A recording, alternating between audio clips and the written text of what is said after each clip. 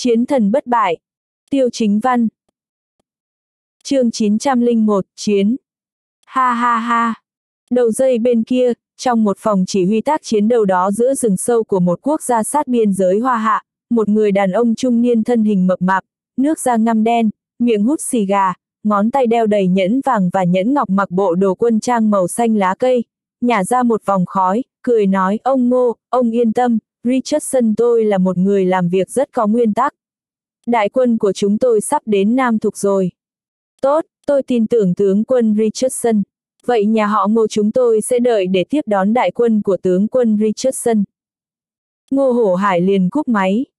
Richardson lập tức ném điện thoại qua một bên, dùng tiếng mẹ đẻ của bọn họ lạnh lùng mắng chửi vài câu, sau đó quay sang nói với hai tướng quân mặc quân trang đang đứng bên cạnh mình, cái tên ngô hổ hải đáng chết này còn muốn lợi dụng 150.000 đại quân của chúng ta để đối kháng với 100.000 quân Bắc Lương.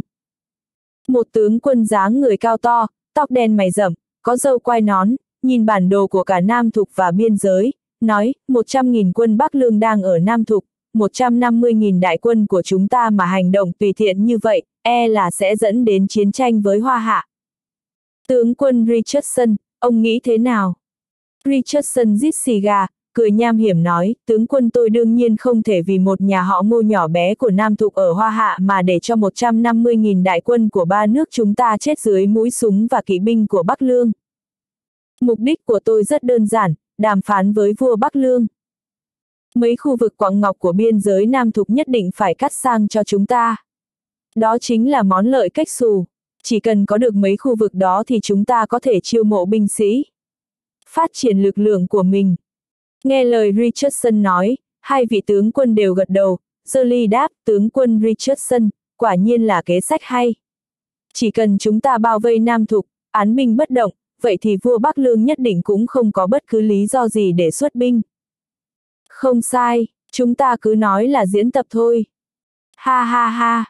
Ba tướng quân cùng nhau cười lớn, uống cạn rượu vang trong ly của mình. Vậy bên phía ngô hổ hải thì sao? Một tướng quân trong số đó hỏi. Richardson cười lạnh lùng nói, nhà họ ngô chỉ là một quân cờ mà thôi. Bọn chúng sụp đổ thì chúng ta cũng có thể tiếp nhận toàn bộ quảng sắt trong tay nhà họ ngô để kiếm lời rồi.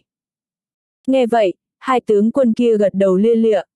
Mà lúc này, một thiếu tướng bước vào trong lều bạt, cung kính nói tướng quân.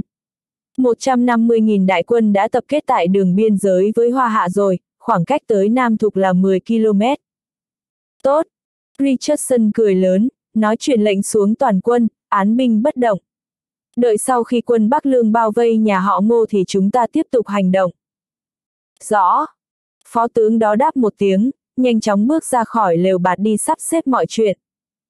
Mà lúc này, tại Sơn Trang nhà họ ngô ở Nam Thục.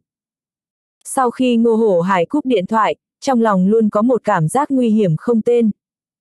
Lúc này, thuộc hạ xông vào trong, hô lên, ông hai, binh lính Bắc Lương đã đến bên ngoài Sơn Trang rồi. Đám người đông nghịt, ước chừng, ước chừng phải hơn 5.000 người. Nghe vậy, Ngô Hổ Hải liền nhướng mày, nói cậu chắc chứ. Tên thuộc hạ đó lau mồ hôi lạnh trên trán, nói chắc chắn ạ. Lúc này, tất cả đám người nhà họ Ngô đều cảm thấy hoang mang, sắc mặt ngập tràn vẻ lo sợ.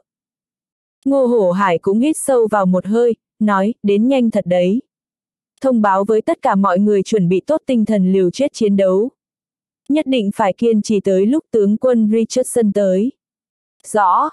Một đám người cùng nhau hô vang. Mà ngô hổ hải cũng nhanh chóng xông ra khỏi phòng khách, đứng trên bãi cỏ trong sơn trang nhà họ ngô. Trong màn đêm trước mắt, bên ngoài sơn trang nhà họ ngô có hơn 5.000 tử sĩ, toàn bộ đều trang bị vũ trang, vác súng trên vai. Ngô hổ hải đứng trên thảm cỏ, ánh mắt lạnh băng nhìn vào trong màn đêm, liếc về phía từng tốp binh lính Bắc Lương vác súng hiên ngang. Cả sơn trang nhà họ ngô lúc này đã bị binh lính Bắc Lương bao vây. Từ trên cao nhìn xuống đều chỉ thấy những bóng người dày kịt. Những họng súng toát lên sát khí rợn ngợp và sự sắc lạnh thấu xương. Long nhất đi giày chiến đấu, bước ra từ phía sau đoàn người, cao giọng hô lên, ngô hổ hải, lập tức cho người của ông buông bỏ vũ khí, ngoan ngoãn giơ tay đầu hàng. Nếu không bản tướng sẽ trừng trị nhà họ ngô tội phản quốc. Ngô hổ hải nghe vậy thì bật cười, nói, nhà họ ngô đã không còn đường lui từ lâu rồi. Hôm nay liều mình đánh giết thì nhà họ ngô chúng ta vẫn còn đường sống. Tất cả mọi người, giết. Ngô hổ hải gầm lên một tiếng, 5.000 tử sĩ nhà họ ngô phía sau lập tức bóp cò. Păng păng păng. Tiếng súng đạn dày đặc vang lên khắp sơn trang nhà họ ngô. Long nhất bất lực lắc đầu, phất tay một cái, hô lên, bắn. Một giây sau, binh lính Bắc Lương cũng lập tức bóp cò. Cả sơn trang nhà họ ngô lập tức biến thành chiến trường. Long nhất lấy đà vài bước rồi xông về phía trước, túm lấy ngô hổ hải từ trong đám người. Trước mặt Long nhất, hàng trăm tử sĩ lập tức bị đánh văng ra xa, tất cả đều ngã lăn xuống đất, sau đó nôn ra máu chết thẳng cẳng. Ngô hổ hải nhìn Long nhất đang xông đến thì bày ra vẻ mặt ác độc, giơ tay đỡ lấy cú đấm của Long nhất. Long nhất thấy vậy thì nhướng mày, lạnh lùng nói, ông cũng là cường giả chiến thần sao. Ngô hổ hải cười lạnh lùng, đáp không sai. Long nhất thầm thở dài, nhà họ ngô ở Nam Thục này quả đúng là nơi có nhân tài ẩn giật, đầm rồng hang hổ. Ai mà ngờ được ông hai nhà họ ngô này lại là một cường giả chiến thần cấp thiên bốn sao, thực lực không hề thua kém gì Long nhất. Trong nháy mắt, nơi này lập tức biến thành khu vực chiến đấu của chiến thần. Những tiếng đánh đấm bôm bốp không ngừng vang lên bên tai.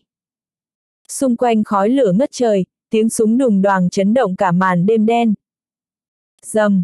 Trong nháy mắt, cú đấm của Long Nhất mạnh mẽ ghim vào lồng ngực của Ngô Hổ Hải, đẩy ông ta văng ra xa mười mấy mét, nặng nề va vào một đám tử sĩ nhà họ Ngô, sau đó ngã lăn xuống đất, miệng nôn ra máu, ánh mắt căm phẫn nhìn chằm chằm vào Long Nhất đang chậm rãi bước tới. Doạt! Long Nhất giơ tay, rút ra khẩu súng lục từ bên hông, chĩa về phía Ngô Hổ Hải, gầm lên, Ngô Hổ Hải đã bị bắt. Tất cả mọi người lập tức buông bỏ vũ khí, nếu không sẽ bắn chết ông ta ngay lập tức. Tiếng gầm này vang khắp cả không gian sơn trang nhà họ Ngô. Những tử sĩ vẫn còn đang liều mạng khi nhìn thấy Ngô Hổ Hải cả người đầy máu nằm trên đất thì ngẩn ngơ trong phút chốc, sau đó tất cả đều buông bỏ vũ khí, quỳ trên mặt đất, hai tay ôm lấy đầu. Sau đó, binh lính Bắc Lương nhanh chóng xông lên trước, khống chế toàn bộ bọn chúng lại. Lúc này, Long Nhất lạnh lùng nhìn Ngô Hổ Hải đang nằm trên mặt đất, hô lên, Ngô Hổ Hải, ông có mưu đồ phản bội tổ quốc. Hôm nay tôi sẽ bắt hết toàn bộ cả lũ các người. Thế nhưng, Ngô Hổ Hải lại cười lớn, nói, ha ha ha. Bắt tao, để tao xem ai có gan dám bắt tao đấy. Bọn mày vẫn chưa biết nhỉ, ba nước biên giới đã cho tập kết 150.000 đại quân ở đường biên giới rồi. Chỉ cần nhà họ ngô chúng tao sụp đổ, 150.000 đại quân sẽ lập tức tiến công vào Nam Thục, biến nơi này trở thành địa ngục. Mà tất cả những hậu quả này đều là bởi vì Bắc Lương chúng mày. Nghe vậy, Long Nhất nhíu chặt mày, nhưng ngay sau đó, ánh mắt của anh ta lại đầy vẻ giễu cợt. Ngô Hổ Hải không ngốc, nhìn thấy sắc mặt của Long Nhất thì lập tức cảm nhận được điều không hay, hỏi, mày đang cười cái gì? Long Nhất tiến lên trước một bước, đạp chân lên trên ngực Ngô Hổ Hải, ánh mắt sắc lạnh, cười nói, ba nước biên giới, 150.000 đại quân ư. Ha ha, Ngô Hổ Hải, ông đúng là giỏi tính toán thật đấy. Thế nhưng, bây giờ đã 20 phút trôi qua rồi, 150.000 đại quân để ông dựa dẫm sao vẫn còn chưa tiến công vào Nam Thục thế. Lộc bộp, Ngô Hổ Hải ngơ ngác, mồ hôi lạnh toát ra ướt đẫm chán. Tiếp đó, ông ta nhanh chóng lấy điện thoại ra bấm số điện thoại của tướng quân Richardson, vội vàng nói, tướng quân, binh lính của mấy người đâu, tại sao vẫn chưa thấy tiến công vào Nam Thục.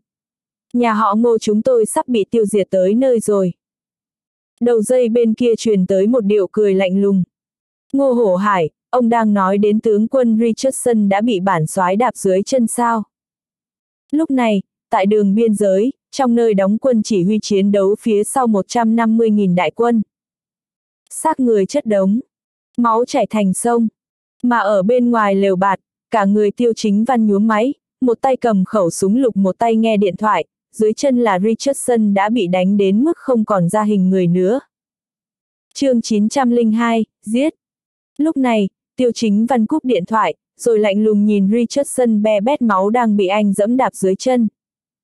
Khuôn mặt Richardson dính đầy máu, bắp đùi bị bắn trúng, ông ta kinh hãi nhìn người đàn ông ở trước mặt rồi hét lên, mày là ai?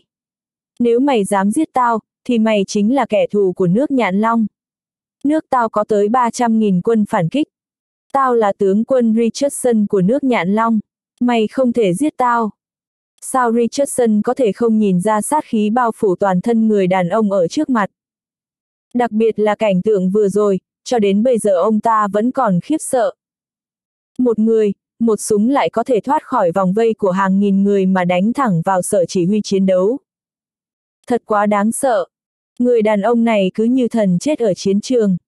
Lúc này, tiêu chính văn đang lạnh lùng nhìn Richardson nằm ở dưới đất, anh lạnh giọng, bản soái là vua Bắc Lương. Chẳng phải ông muốn thương lượng với bản soái sao? Bây giờ có thể thương lượng được rồi đấy. Soạt.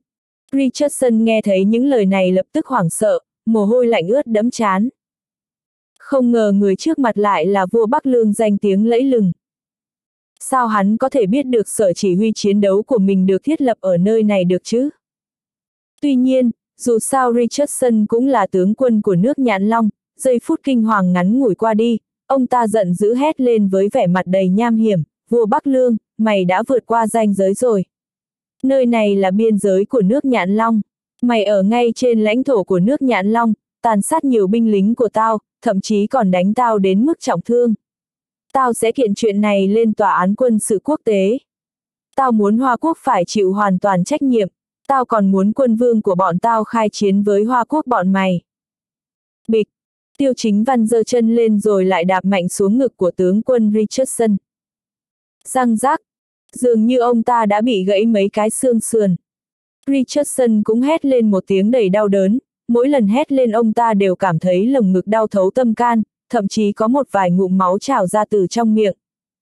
Mày, mày thế này là muốn sống mái với nước nhãn long của tao sao, Richardson tức giận quát. Thế nhưng, tiêu chính văn cao ngạo nhìn ông ta cười khẩy, nước nhãn long muốn khai chiến với Hoa Quốc à. Richardson, ông đừng quên, 40-50 năm trước, khi nước nhãn long các ông trải qua ngọn lửa chiến tranh, Hoa Quốc chúng tôi đã đưa tay ra giúp đỡ, nhưng các ông chẳng những không biết cảm ơn, ngược lại còn phát động chiến tranh với chúng tôi, cuối cùng đã bị Hoa Quốc chúng tôi đánh bại. Nếu bản soái nhớ không lầm, lúc đó là thời đại của nhị đại thiên tử. Khi đó, quân vương của các ông đã đệ đơn xin đầu hàng Hoa Quốc chúng tôi. Thế nào, bây giờ nước nhạn long các ông còn muốn tiếp tục trải qua một lần như thế nữa sao? Nghe những lời này, cơ thể Richardson run rẩy, trong mắt ông ta lóe lên sự sợ hãi. Ngay sau đó, ông ta hét lớn, vua Bắc Lương. Nơi này là biên giới của nước Nhạn Long. Mày giết binh lính của tao, bây giờ còn muốn giết tướng quân của nước Nhạn Long. Mày làm như vậy đồng nghĩa với việc muốn tuyên chiến với nước Nhạn Long.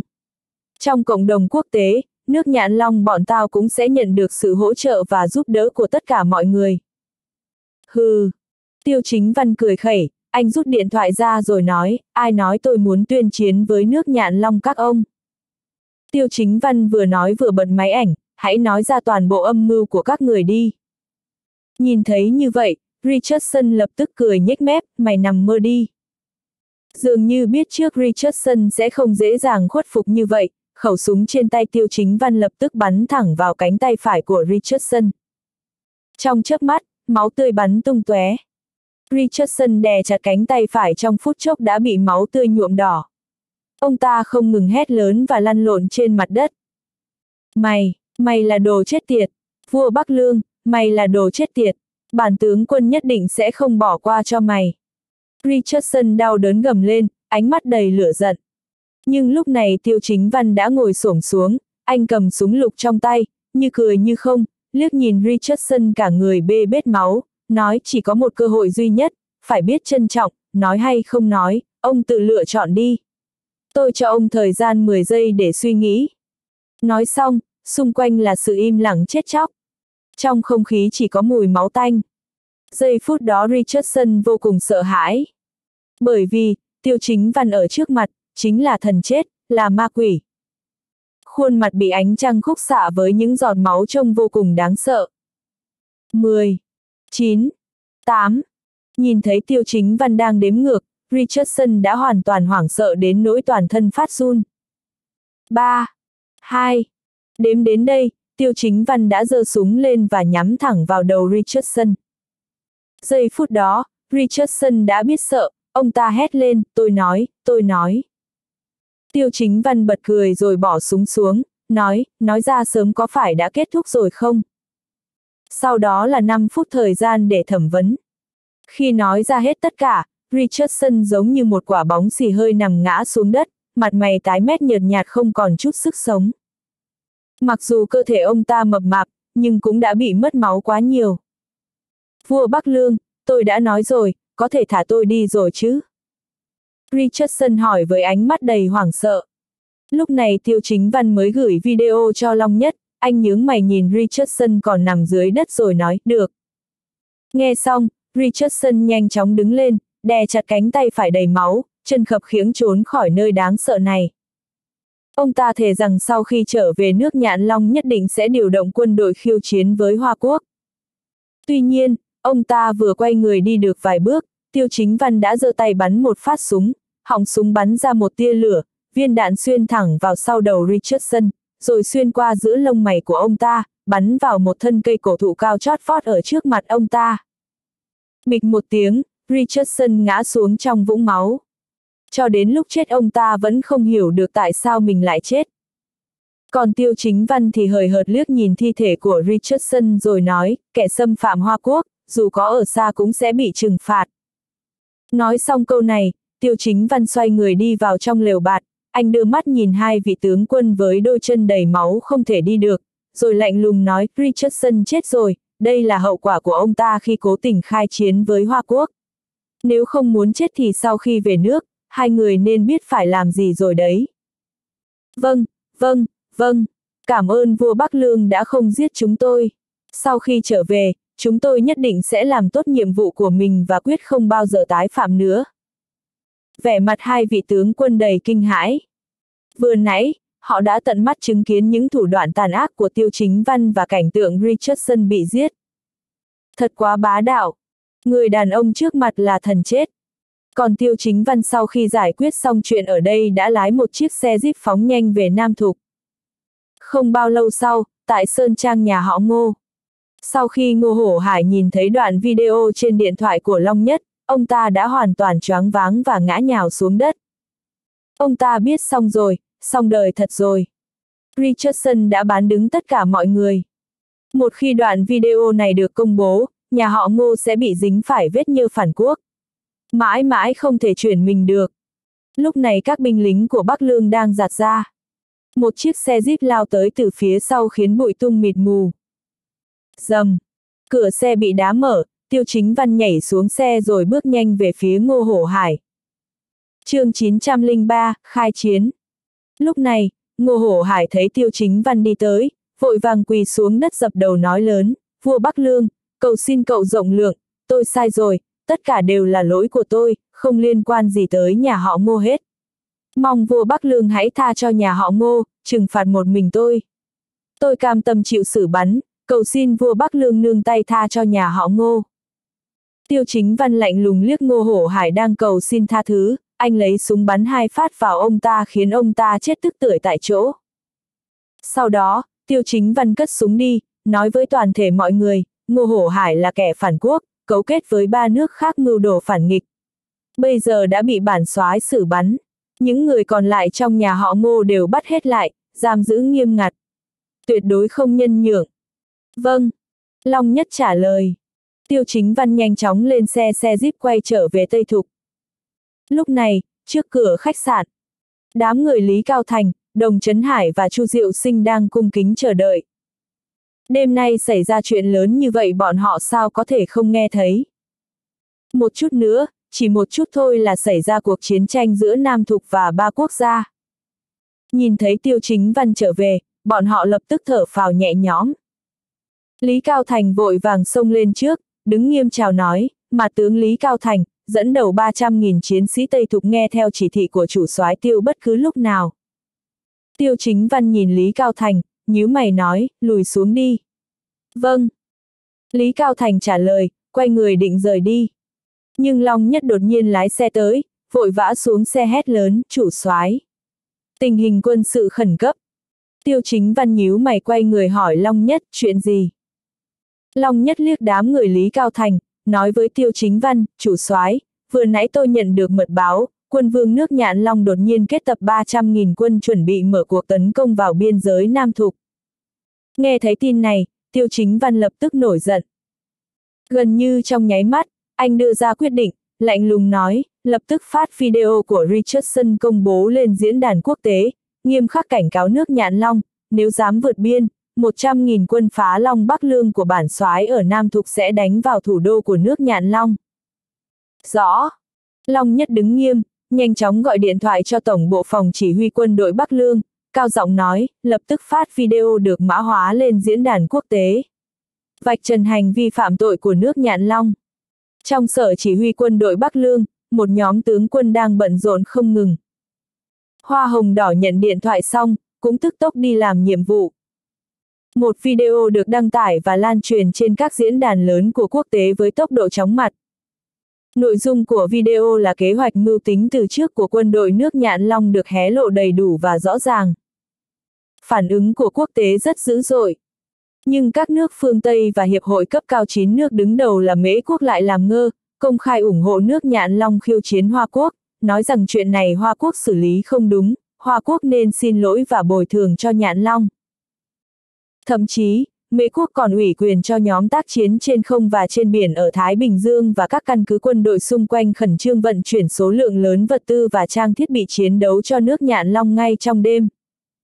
Hiệp hội cấp cao chín nước còn thông đồng công bố mười mấy video ủng hộ Nhạn Long phản công tự vệ, thao túng bình luận của quốc tế, hoàn toàn phớt lờ tính xác thực của sự việc. Lúc này, tại Long Kinh, trong thiên tử các, thiên tử hết sức phẫn nộ. Thiên tử mở cuộc họp quân đội khẩn cấp.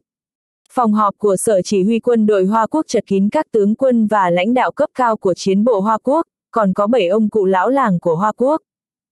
Thiên tử đứng chính giữa, vẻ mặt tức giận phẫn nộ đấm mạnh lên mặt bàn, nói, Mỹ quốc dẫn đầu các nước khác, hiệp hội cấp cao chín nước và nước nhạn long ước hiếp người quá đáng. Bọn chúng dám thao túng dư luận, đổi trắng thay đen, kết bè kéo phái, giáp tâm gây ra cuộc chiến tranh giữa Hoa Quốc và Nhạn Long. Chuyện này tôi đã quyết định rồi. Long các nghe lệnh, lập tức liên lạc với Hắc Long của chiến khu Nam Lĩnh, bảo ông ta điều 100.000 quân Hắc Long, tập hợp với 100.000 quân Bắc Lương của Tiêu Chính Văn ở Nam Thục đối phó với Nhạn Long. Một khi Nhạn Long vượt khỏi đường biên giới mà nhị đại thiên tử đã từng vạch ra thì lập tức khai chiến. Rõ. Giang Vạn Long đứng dậy trả lời, nhanh chóng đi sắp xếp. Sau đó, thiên tử tức giận nói, đại sứ vương, mau dùng tư cách là người phát ngôn ngoại giao của Hoa Quốc, cảnh cáo Mễ Quốc, Hiệp hội cấp cao chín nước và các nước khác nghiêm khắc lên án, nêu rõ thái độ của Hoa Quốc chúng ta. Bằng mọi giá phải bảo vệ Hoa Quốc. Nếu các nước muốn mượn cơ hội này khiêu chiến với Hoa Quốc để đạt được mục đích bí mật nào đó, vậy thì hàng triệu quân đội của Hoa Quốc sẽ chơi đến cùng. Vương Lận đứng dậy, cấp tốc nhận lệnh. Không lâu sau, Sở chỉ huy tác chiến chiến khu Nam lĩnh nhận được điều lệnh khẩn cấp của Long Kinh. Hắc Long ra quyết định ngay lập tức, điều động 100.000 quân Hắc Long đi ngay trong đêm tới Nam Thục, tập hợp với 100.000 quân Bắc Lương của Tiêu Chính Văn. Cùng lúc đó, bên phía Tiêu Chính Văn cùng đang tiến hành bàn bạc việc quân với đám người Lý Cao Thành và Bộ Chỉ huy tác chiến của Sở Chỉ huy quân đội Nam Thục. Cả Nhãn Long có tổng cộng 300.000 quân hành động nhanh nhẹn, trong vòng 2 tiếng đồng hồ đã tập kết xong, hiện giờ chỉ còn cách biên giới của Hoa Quốc khoảng 20 km nữa.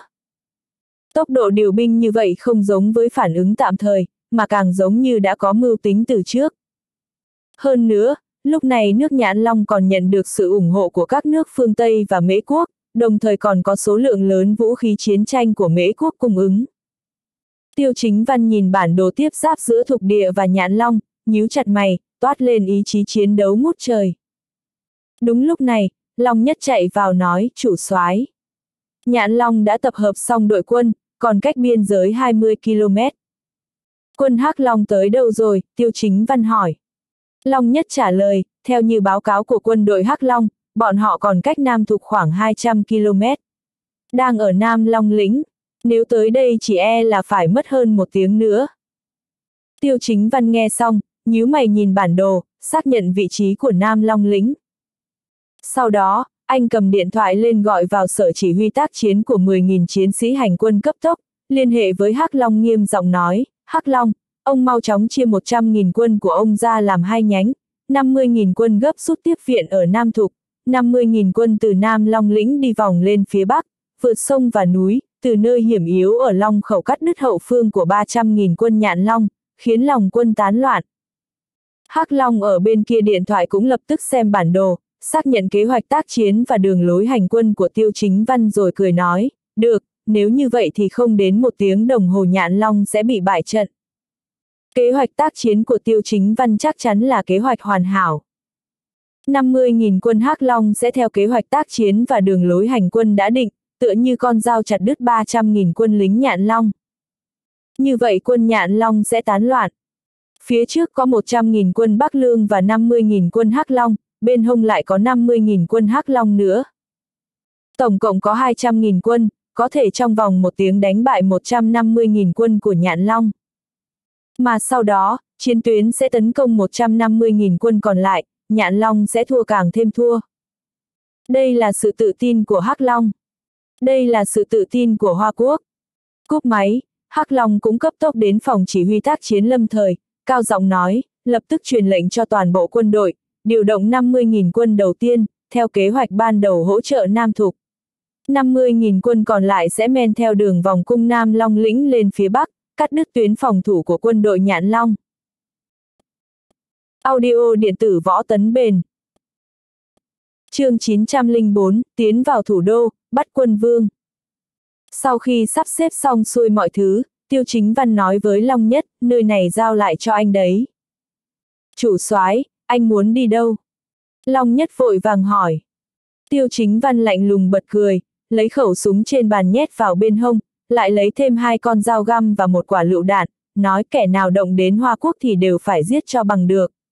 Nhãn Long cử 300.000 đại quân ép sát đường biên giới. Hậu phương và thủ đô của chúng nhất định phòng thủ lỏng lẻo. Chủ soái tôi phải đi bắt quân vương. ầm ầm. Nghe thấy lời này, mấy người Long nhất, Lý Cao Thành đều mở to hai mắt, vẻ mặt vô cùng kinh ngạc. Tiêu chính văn lại muốn đến thủ đô Nhạn Long để bắt quân vương của nước Nhạn Long. Đột nhập một mình như vậy quá nguy hiểm. Chủ soái, tuyệt đối không được làm vậy. Anh làm như vậy là hành động mạo hiểm đấy. Long Nhất lập tức khuyên nhủ. Anh ta không lo lắng về thực lực của Tiêu Chính Văn mà lo lắng lỡ như Tiêu Chính Văn xảy ra bất chắc gì thì anh ta không biết phải ăn nói thế nào với 30.000 quân phá Long Bắc Lương, không biết phải ăn nói ra sao với cả Hoa Quốc. Thế nhưng Tiêu Chính Văn đã quyết định thì không thể nào thay đổi được nữa. Anh vỗ lên vai Long Nhất, nói yên tâm đi, tôi có kế hoạch rồi. Nói xong, Tiêu Chính Văn đi thẳng ra khỏi bộ chỉ huy tác chiến, nhảy lên trên một chiếc xe jeep quân dụng, đạp ga vút đi như một lưỡi kiếm bén nhọn phóng vào trong màn đêm đen. Sau nửa tiếng đồng hồ, chiếc xe jeep của Tiêu Chính Văn đã đi xuyên qua rừng cây nơi biên giới, đi tới đường biên giới giữa Hoa Quốc và nước Nhạn Long. Nơi này rừng hoang núi thẳm, toàn bộ là rừng cây um tùm. Sau khi Tiêu Chính Văn xuống xe thì một mình men theo đường biên giới, thâm nhập vào lãnh thổ nước Nhạn Long. Trên đường đi, không biết anh đã phát hiện ra bao nhiêu trinh sát và gián điệp hành quân của Nhạn Long. Tất cả đều bị Tiêu Chính Văn giết chết không sót một ai. Lúc này, Tiêu Chính Văn vừa giết chết một đội gián điệp hành quân, trong miệng ngậm con dao găm, ẩn nấp trên một thân cây cổ thụ rất lớn. Đôi mắt sáng rực của anh nhìn chăm chăm vào năm cái xác phía bên dưới giống như một con diều hâu trong màn đêm. Tiêu Chính Văn đang đợi. Đúng như dự đoán, sau vài phút, một đoàn binh lính đặc chủng nhạn long vác súng trên vai khẽ khàng tiến lại gần đó. Tất cả bọn chúng đều mặc đồ tác chiến màu đen, đội mũ sắt và mang súng tiểu liên, trang bị trên người không có thứ gì là không đến từ phương Tây. Tiêu chính văn ngồi xổm trên cây, khóe miệng nhếch lên lạnh lùng. Đoàn lính đặc chủng này có 13 người. Không ngờ Nhãn Long lại học được cách điều động bộ đội đặc chủng lén lút đi đường vòng vào Hoa Quốc. Đây là muốn lợi dụng bộ đội đặc trùng tác chiến để giết vương sao. Thế nhưng hôm nay bọn chúng lại đụng phải ông tổ của lính đặc trùng tác chiến rồi. Tiêu Chính Văn không chỉ biết chỉ huy trên chiến trường mà còn là người giỏi nhất Hoa Quốc trong việc tác chiến ám sát đặc trùng. Cả năm chiến khu lớn không có nhân tài nào hiểu biết sâu về tác chiến ám sát đặc trùng hơn Tiêu Chính Văn. Lúc này, tiểu đội tác chiến đặc trùng của nước Nhãn Long hình thành một vòng bao vây bên ngoài, vây quanh năm cái xác trên mặt đất. Một người trong số đó, có lẽ là đội trưởng, ngồi xổm xuống, kiểm tra vết thương của năm cái xác kia, phát hiện ra bọn họ đều chết chỉ với một đòn. Trong nháy mắt, tên đội trưởng liền phát giác ra điều gì, nói với đội viên bên cạnh, lập tức thông báo cho tướng quân Camille. Hoa Quốc cũng phái tiểu đội tác chiến đặc trùng tinh nhuệ, đã xâm nhập vào lãnh thổ nhạn long chúng ta rồi. Rõ. Đội viên đó lập tức lấy bộ đàm ra, đang định lên tiếng thông báo sự việc. Cũng đúng vào lúc này. Tiêu chính văn ngồi xổm trên cây, rút con dao găm bên hông ra chỉ trong nháy mắt, phóng thẳng về phía đội viên đặc trùng kia. Ngay tức thì, một tia sáng bạc lóe lên giữa không trung, sau đó phập một tiếng, con dao găm mạnh mẽ cắm thẳng vào cổ của đội viên đặc trùng đang cầm bộ đàm. Máu bắn ra tung tóe. Tên đội viên đặc trùng nhãn long cũng ngã thẳng xuống vũng máu, cả người co giật liên hồi rồi chết thẳng cẳng.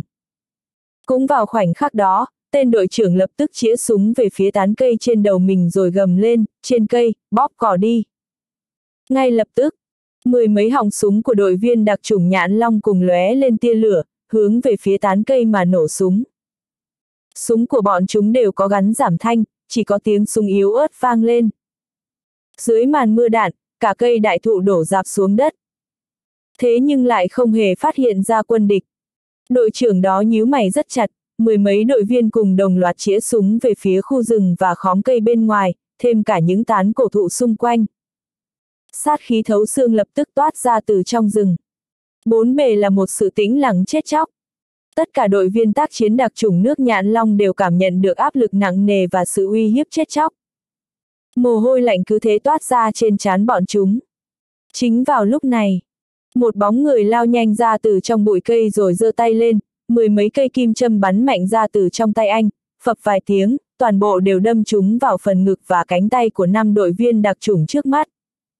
Năm người này đang định bóp cò, thế nhưng cánh tay lại đột nhiên mất đi cảm giác, căn bản không thể dơ lên nổi. Sau đó, trong ánh mắt kinh hãi của bọn chúng, một bóng người giống như yêu ma, trong miệng ngậm một con dao găm lao thẳng về phía bọn chúng chỉ trong nháy mắt. Một giây sau, năm đội viên đặc trùng cảm thấy cổ mình nóng rát, máu tươi cứ thế túa ra, trong miệng bọn chúng cũng ứa máu, mắt mở to nhìn bóng người ngay trước mắt kia. Vài tiếng rầm vang lên, năm đội viên tác chiến đặc trùng này ngã trên vũng máu. Tiêu chính văn cầm con dao găm nhỏ máu trong tay. Tách tách tách. Trong nháy mắt, những đội viên tác chiến đặc trùng nhãn long còn lại lập tức xông về phía tiêu chính văn. Thế nhưng tiêu chính văn lại phóng con dao quân đội năm cạnh trong tay, cả người cũng bay lên không trung giống như một siêu nhân, lao qua ngay trước mắt bọn chúng. Họng súng của bọn chúng bắn đuổi theo bóng dáng đang ẩn hiện trong rừng cây của tiêu chính văn, nhưng tất cả đều không trúng. Mà lúc này, tiêu chính văn lao từ trên không xuống, con dao quân đội năm cạnh trong tay cũng lao nhanh về phía những đội viên đặc chủng nhãn long còn lại bên dưới. Sợi xích của con dao quân đội năm cạnh phản chiếu ánh trăng vàng nhạt. Sau đó, lại vài tiếng phập nữa vang lên. Máu tươi đỏ thẫm bắn tung tóe giữa không trung. Những đội viên đặc chủng nhãn long còn lại đều ngã lăn xuống đất. Không có ngoại lệ, ngực của bọn chúng đều bị con dao quân đội năm cạnh đâm xuyên qua. Mà tất cả những chuyện này chỉ diễn ra trong vòng 2 phút. Nhìn những cái xác nằm trên vũng máu, tiêu chính văn kiểm tra một lượt trang bị của đối phương, lấy bộ đàm của một người trong số đó, dùng ngôn ngữ nhạn long báo cáo một cách trôi chảy, chúng tôi đã xâm nhập biên giới Hoa Quốc thành công, đợi chỉ thị tiếp theo. Chẳng mấy chốc, phía bên kia truyền tới mệnh lệnh, sói săn, theo mệnh lệnh của tướng quân Camille, mấy người tiếp tục xâm nhập, nhất định phải tìm được và giết chết vua Bắc Lương trước khi khai chiến. Như vậy thì chúng ta mới nắm được quyền chủ động. Sói săn đã hiểu. Tiêu chính văn đáp lời, sau đó tắt bộ đàm đi. Đồng thời, anh cũng đã đoán được kế hoạch của Nhãn Long rồi. Vậy mà lại muốn giết chết mình trước khi khai chiến. Đúng là không biết tự lượng sức. Như vậy thì tiêu chính văn càng có nhiều thời gian hơn để tóm gọn quân vương Nhãn Long. Nghĩ vậy, Tiêu chính văn thay đồ của tên đội trưởng tác chiến đặc trùng, cầm lấy khẩu súng tiểu liên, nhanh chóng tiến về phía thủ đô Nhạn Long. Sau hơn 10 phút, anh phát hiện ra mấy chiếc xe giã chiến bị bỏ lại trên một bãi đất trống. Anh nghĩ rằng đây chắc là xe của nhóm đội viên tác chiến đặc trùng kia. Tiêu chính văn nhảy lên xe, khởi động và đạp ga men theo đường núi khúc khuỷu, đi tới thủ đô của Nhãn Long. Nơi này cách thủ đô Nhãn Long 50 km. Nếu đi hết tốc độ thì ước chừng nửa tiếng là tới nơi. Một người đàn ông trung niên mặc trường bào màu vàng nhạt đang ngồi trên ghế vàng của quốc cung, sắc mặt vô cùng nghiêm trọng. Cả quốc cung nguy nga lộng lẫy. Bên dưới đều là những nhân vật cốt cán của Nhãn Long. Tướng quân Camille, thật sự phải khai chiến với Hoa Quốc sao, quân vương đó hoang mang hỏi.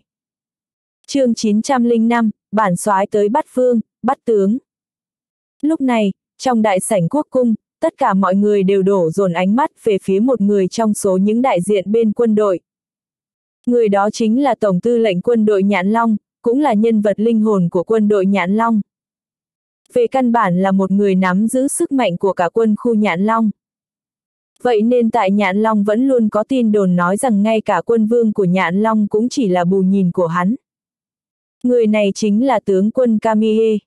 Tướng quân năm sao của Nhãn Long, là nhân vật có cấp bậc cao nhất trong quân khu. Lúc này Camille đang bình thản hút xì gà, ngồi trên một chiếc ghế làm bằng vàng thuần, phân biệt vô cùng rõ ràng với những chiếc ghế gỗ của mọi người xung quanh. Thế nhưng lại không có ai dám nói gì cả. Dù cho bên trong bộ máy chính quyền của Nhãn Long có một số phần tử tri thức vẫn luôn cảm thấy bất mãn với mọi hành vi của Camille, thế nhưng bọn họ lại chỉ dám giữ sự phẫn nộ trong lòng chứ không dám nói ra. Dù gì, bất cứ người nào chống lại Camille hay là nói xấu sau lưng hắn thì đều bị ám sát sạch sẽ hết cả. Lúc này, Camille hút xì gà, nhẫn vàng ngọc đeo kín các ngón tay, trên vai cũng đeo quân hàm năm sao màu vàng của quân khu Nhạn Long, trước ngực treo đầy đủ loại huân chương của Nhạn Long. Hắn điềm nhiên nhìn quân vương Nhạn Long ở phía trên bục cao, cười nói, quân vương, không cần phải lo lắng, khai chiến với Hoa Quốc là chuyện mà chúng ta đã lên kế hoạch từ lâu. Lần này, sau lưng chúng ta có sự ủng hộ của tất cả các nước phương Tây, còn cả sự ủng hộ vật tư cho chiến tranh từ Mễ quốc nữa. Chỉ cần chúng ta kéo Hoa Quốc vào cuộc chiến tranh thì Hiệp hội cấp cao chín nước trong đó có Mễ quốc sẽ khai chiến với Hoa Quốc từ sườn Đông, sườn Bắc và cả vùng biển phía Nam. Tới lúc đó, 10 nước hợp lực vây hãm Long Kinh, cả Hoa Quốc sẽ trở thành món đồ trong túi chúng ta nhanh thôi. Nói tới đây, Camille vô cùng tự tin và tự mãn, để lộ ra mấy chiếc răng vàng trong miệng. Quân vương nhạn long nghe thấy lời này thì không khỏi cau mày đăm chiêu, vẻ mặt hoang mang. Thế nhưng, Hoa Quốc đã là một cường quốc, chúng ta mà khai chiến với bọn họ là phải đối diện với 100.000 quân Bắc Lương, đó là đội quân bất bại của Hoa Quốc, cũng chính là đoàn quân hùng dũng làm chấn động cả một triệu đại quân tám nước. Tôi lo lắng chúng ta còn chưa kịp nhận được sự trợ giúp từ các nước phương Tây thì đã bị quân Bắc Lương đánh bại mất rồi. Quân vương lo lắng nói. Camille nghe vậy thì đanh mặt, đáp quân vương, ông không có niềm tin đối với binh lính của tôi hay sao? Nghe xong lời này, bầu không khí bên trong đại sảnh quốc cung nhanh chóng trở nên một ngạt bí bách. Quân vương vội vàng giải thích không, không phải, tướng quân Camille, tôi chỉ đang lo lắng chuyện giống như mấy chục năm trước lặp lại lần nữa. Nghe vậy, tướng quân Camille liền bật cười, nói quân vương, không cần phải lo lắng. Hoa quốc lớn mạnh nhưng nhạn long chúng ta cũng lớn mạnh không kém. Một trăm nghìn quân phá long Bắc Lương không có gì đáng sợ hết. Mục đích của chúng ta không phải thật sự khai chiến với bọn chúng mà chỉ là kéo dài thời gian, đợi các nước phương Tây khác cùng khai chiến. Nói tới đây, quân vương cũng hiểu ra rằng không thể né tránh trận chiến này được nữa rồi. Vậy bao giờ thì các nước phương Tây xuất binh, quân vương hỏi. Tướng quân Camille hống hách nói, sắp rồi, đợi tới lúc 300.000 đại quân của chúng ta đối đầu với quân Bắc Lương thì bọn họ sẽ tuyên chiến. Tới lúc đó, quân Bắc Lương bất bại gì đó đều trở thành vong hồn dưới họng súng của cường quân nhạn long hết thôi. Mà tên vua Bắc Lương kia cũng sẽ trở thành tù nhân của Kamihe tôi và của cả nhạn long nữa. Thế nhưng, tướng quân Kamihe vừa nói dứt lời thì bên ngoài cửa chính đại sảnh quốc cung đột nhiên truyền tới một giọng nói phẫn nộ kinh thiên động địa. Kamihe, anh thật sự cho rằng quân phá Long Bắc Lương của bản soái lại yếu hèn như vậy hay sao? Câu nói này làm chấn động cả đại sảnh quốc cung. Ánh mắt của tất cả mọi người đều đổ dồn về phía cửa chính đại sảnh ngay lập tức. Vô số tiếng động lớn vang lên. Mười mấy binh lính hộ vệ tại cửa chính đại sảnh quốc cung đều bị đánh văng vào bên trong, bay lên cao tít sau đó nặng nề rơi xuống đất, miệng phun ra máu, chết ngay tại chỗ. Sau đó, trong ánh mắt kinh ngạc của tất cả mọi người, một người bao trùm sát khí long trời lở đất bước từng bước lên trên thềm đá, phát ra những tiếng bước chân cộp cộp cộp rõ ràng xuất hiện ngay trước cửa. Không phải là tiêu chính văn thì còn có thể là ai nữa chứ? Lúc này, sát khí ngập tràn trên người anh, ánh mắt sắc lẹm liếc nhìn tất cả những nhân vật cốt cán của nhãn long đang có mặt bên trong đại sảnh quốc cung. Tướng quân Kamihe đứng phát dậy, phẫn nộ nhìn bóng người đột nhiên xuất hiện trước cửa, gầm lên, chết tiệt. Mày là ai? Ai cho phép mày xông vào nơi này? Người đâu, bắt hắn lại cho tao. Ngay lập tức, mấy chục binh lính đặc chủng nhãn long được trang bị vũ trang đầy đủ, vác súng xông ra một cách nhanh chóng từ bốn bề đại sảnh quốc cung. Trước mặt quân vương nhãn long còn xuất hiện bảy, tám vệ sĩ đặc biệt mặc vest đen, ai nấy cũng mang vẻ mặt lạnh tanh, rút súng ra từ bên hông nhắm chuẩn vào tiêu chính văn người vừa đột nhiên xuất hiện bên trong đại sảnh. Tiêu chính văn điểm nhiên quét mắt nhìn đám binh lính được trang bị vũ trang ở xung quanh một lượt, miệng cười lạnh lùng, sau đó ánh mắt sắc lạnh nhìn về phía tướng quân Camille đứng cách đấy không xa, nói, bản soái chính là vua Bắc Lương của Hoa Quốc mà mấy người vừa nhắc tới. Âm, um, câu nói này giống như sấm sét san bằng tất cả, vang lên khắp đại sảnh quốc cung nhạn long. Tất cả mọi ánh mắt đều ngập tràn vẻ kinh ngạc, không dám tin nhìn người đàn ông trước mắt. Vua Bắc Lương của Hoa Quốc lại một thân một mình tìm đến đại sảnh quốc cung nhãn long ngay trong đêm. Hơn nữa thoạt nhìn lại còn trẻ tuổi như thế. Sao có thể chứ? Camille nhíu mày chỉ vào tiêu chính văn gào mồm lên, mày ăn nói linh tinh. Mày mà là vua Bắc Lương của Hoa Quốc sao? Tao không tin. Không chỉ có Camille không tin, những người khác cũng không tin. Mặc dù bọn họ chưa từng được gặp vua Bắc Lương của Hoa Quốc, thế nhưng những sự tích và truyền thuyết có liên quan đến anh thì bọn họ đều nằm lòng hết cả. Một nhân vật tối cao có địa vị hàng đầu đã đánh lui một triệu đại quân tám nước sao có thể trẻ tuổi như vậy. Chuyện này không thể nào, cũng không thực tế. Tiêu chính văn bật cười, bất lực lắc đầu nói, quả nhiên là một bầy khỉ, chỉ số thông minh thấp tè, đầu óc chưa từng được mở mang, cho dù bản soái đã đứng trước mặt mấy người rồi mà mấy người vẫn không chịu tin. Cũng được, bản soái tới đây ngày hôm nay chỉ với một mục đích duy nhất. Nhạn Long buộc phải lập tức rút quân, nếu không bản soái sẽ bắt vương bắt tướng. ầm Um, câu nói này giống như tiếng sấm kinh động nổ vang bên tai tướng quân camille và quân vương Nhạn Long. Tất cả mọi người cũng hít sâu, tiếp đó bật cười đầy lạnh lùng và ác độc. Hắn ta nói gì cơ? Hắn ta muốn bắt vương bắt tướng ngay tại quốc cung của Nhạn Long sao? Nực cười. Nực cười quá đối. Camille cười sằng sặc nói, ha ha ha, trò cười, nơi này là quốc cung của Nhãn Long, là nơi tôn nghiêm nhất mà cả Nhãn Long bảo vệ. Dù cho tao tin rằng mày là vua Bắc Lương của Hoa Quốc thì liệu mày thật sự có thể bắt được tướng quân tao và quân vương ngay tại đây sao? Nếu như mày đã nói mình là vua Bắc Lương của Hoa Quốc, vậy thì được, tao cứ coi như mà là vua Bắc Lương của Hoa Quốc. Chỉ cần bắt được mày thì nhãn long chúng tao càng có lý do để khai chiến với Hoa Quốc chúng mày rồi. Chủ soái của Hoa Quốc tìm đến quốc cung do nhãn long bảo vệ ngay trong đêm, mưu đồ ám sát quân vương và tướng quân của nhãn long, tội trạng như vậy, dù có là thiên tử của Hoa Quốc thì cũng không dám bao che cho mày. Nói xong camille bật cười ác độc và nham hiểm, phất tay hô lên, bắt hắn lại cho tao. Phải bắt sống. chương 906, Cảnh giới thiên vương. Trong nháy mắt, hàng chục binh lính trang bị súng ống lao về phía tiêu chính văn, muốn hạ gục anh. Tiêu chính văn lạnh lùng liếc nhìn đám binh lính đang xông lên từ tứ phía, ánh mắt lạnh lùng, nói, đúng là tự tìm đường chết. Vừa dứt lời, con dao quân đội năm cạnh trong tay anh bắn ra, tỏa ra ánh sáng chói mắt lạnh lẽo trong sảnh chính tráng lệ của quốc cung. Sau đó là hàng chục tiếng phập vang lên. Con dao quân đội năm cạnh đâm xuyên qua ngực và cổ của đám binh lính. Tất cả mọi người trong tích tắc đã ngã xuống vũng máu, không còn hơi thở. Con dao quân đội năm cạnh lại bay về trên tay tiêu chính văn, máu chảy tí tách. Sảnh chính chật cứng, lúc này nồng nặc mùi máu tanh. Chứng kiến cảnh tượng này, ai nấy đều bàng hoàng, sửng sốt. camille sợ hãi lùi về phía sau vài bước, nhìn thấy mặt đất toàn là xác chết, trong mắt hắn lóe lên vẻ kinh hoàng, do dự, sau cùng là tức giận. Chết tiệt, đang ở trong quốc cung nhãn long, ngay trước mặt bản tướng quân và quân vương mà mày dám giết binh lính nhạn long.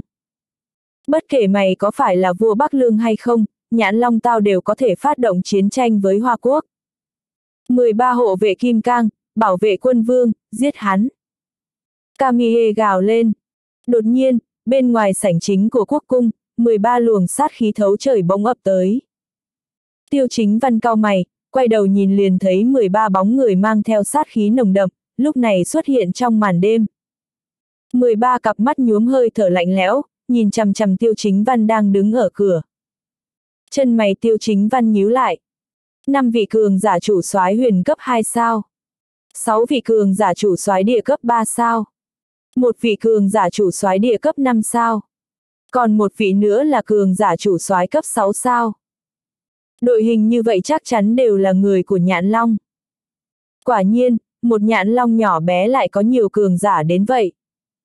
Tiêu chính văn lạnh lùng nhoẻn miệng cười, nhìn 13 chủ soái cường hãn, giữa hàng lông mày bộc phát ra luồng háu chiến nồng đậm. Mà lúc này 13 vị cường giả chủ soái đó lại cũng lạnh lùng nhìn chằm chằm tiêu chính văn. Trong số đó, vị cường giả cấp 6 sao, vóc người vạm vỡ, nước da ngăm đen, khuôn mặt chữ điền, để dâu quai nón, mắt hổ, tỏa ra sát khí kinh hoàng, tức giận hét lên, giết. Đột nhiên, 12 vị cường giả chủ soái biến thành bóng đen và tấn công tiêu chính văn. 12 vị cường giả chủ soái ra tay cùng một lúc, cảnh tượng quá đỗi khủng khiếp.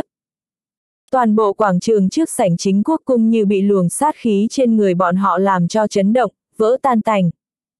Thậm chí, trong bán kinh 10 km, vạn vật đều bị đè ép bởi trận cuồng phong ập tới. Ngay cả những đám mây trên bầu trời cũng bị vỡ tan ra. Dầm! Bóng người của 12 vị cường giả chủ soái biến thành 12 luồng sáng đen, lao lên tấn công. Tiêu chính văn bình tĩnh nhìn 12 bóng người xông tới trước mặt, khóe miệng nở nụ cười lạnh nhạt, nói, 12 chủ soái đúng là nể mặt bản soái. Đã như vậy thì ngày hôm nay bản soái sẽ tàn sát toàn bộ cường giả chủ soái của Nhãn Long. Dầm. Dứt lời, trên người tiêu chính văn đột nhiên tỏa ra luồng sát khí hủy diệt. Luồng sát khí ấy bốc lên tận trời, làm náo động toàn bộ bầu trời phía trên quốc cung nhạn Long.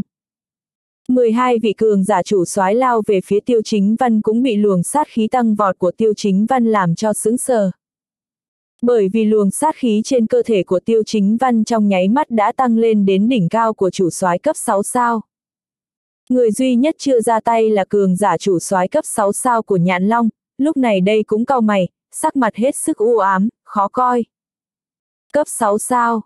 Đối phương cũng là cấp 6 sao.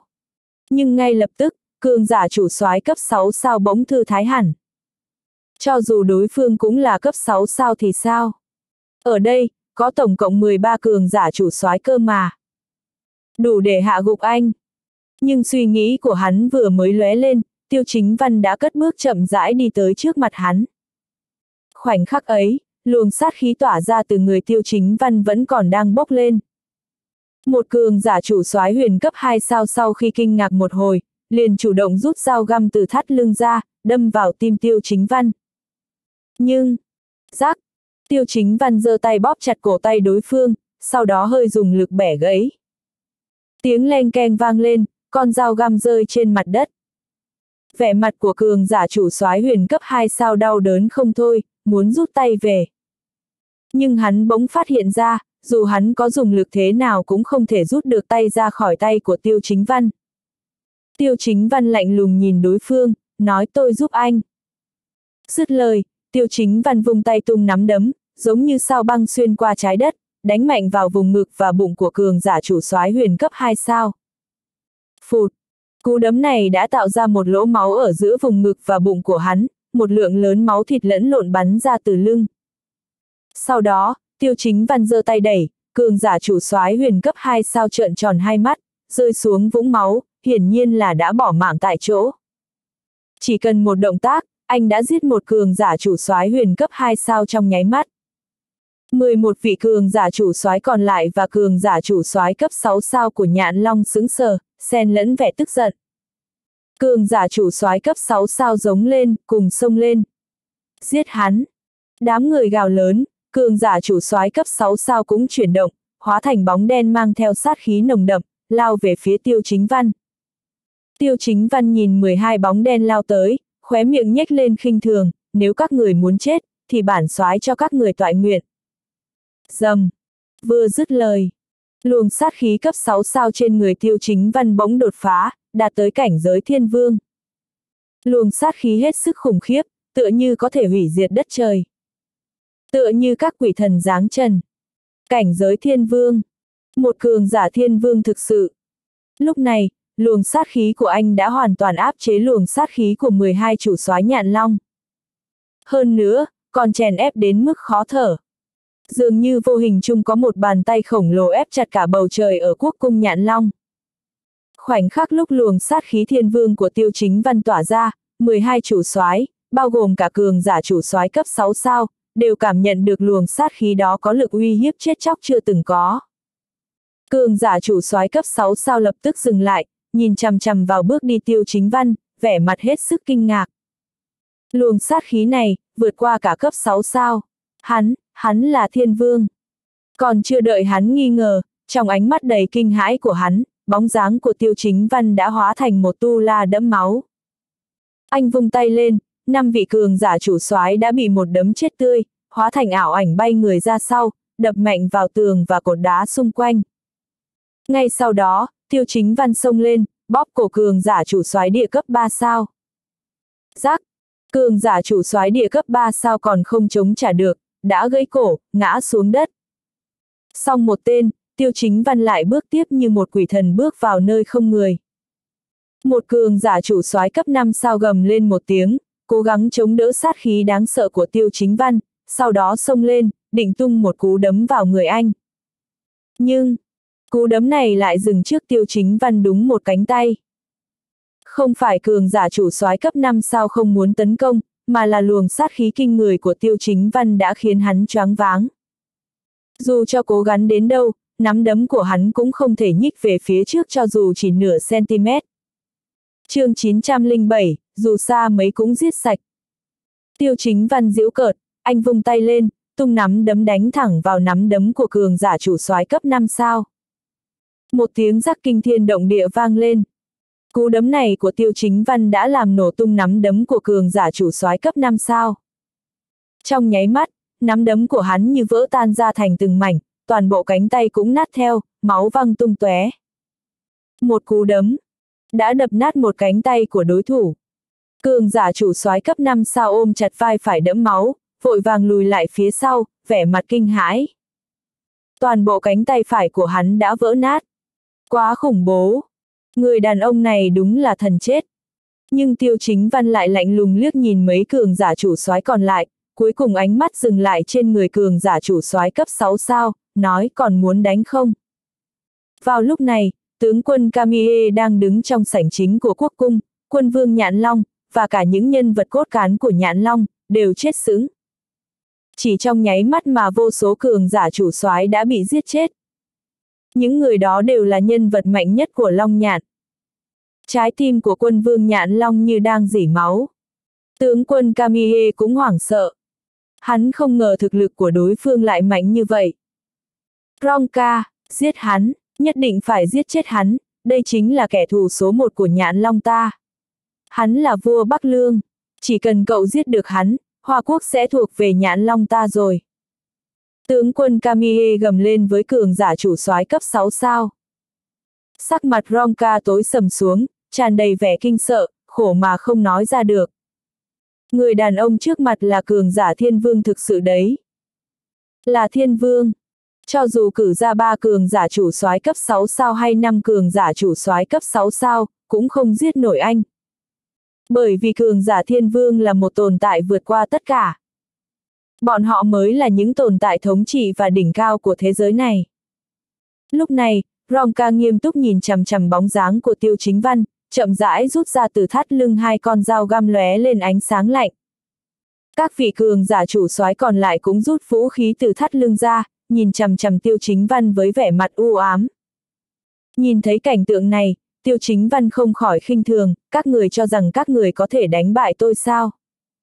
Ronka lạnh lùng nói, cho dù bọn tao không đánh được thì cũng phải chiến đấu.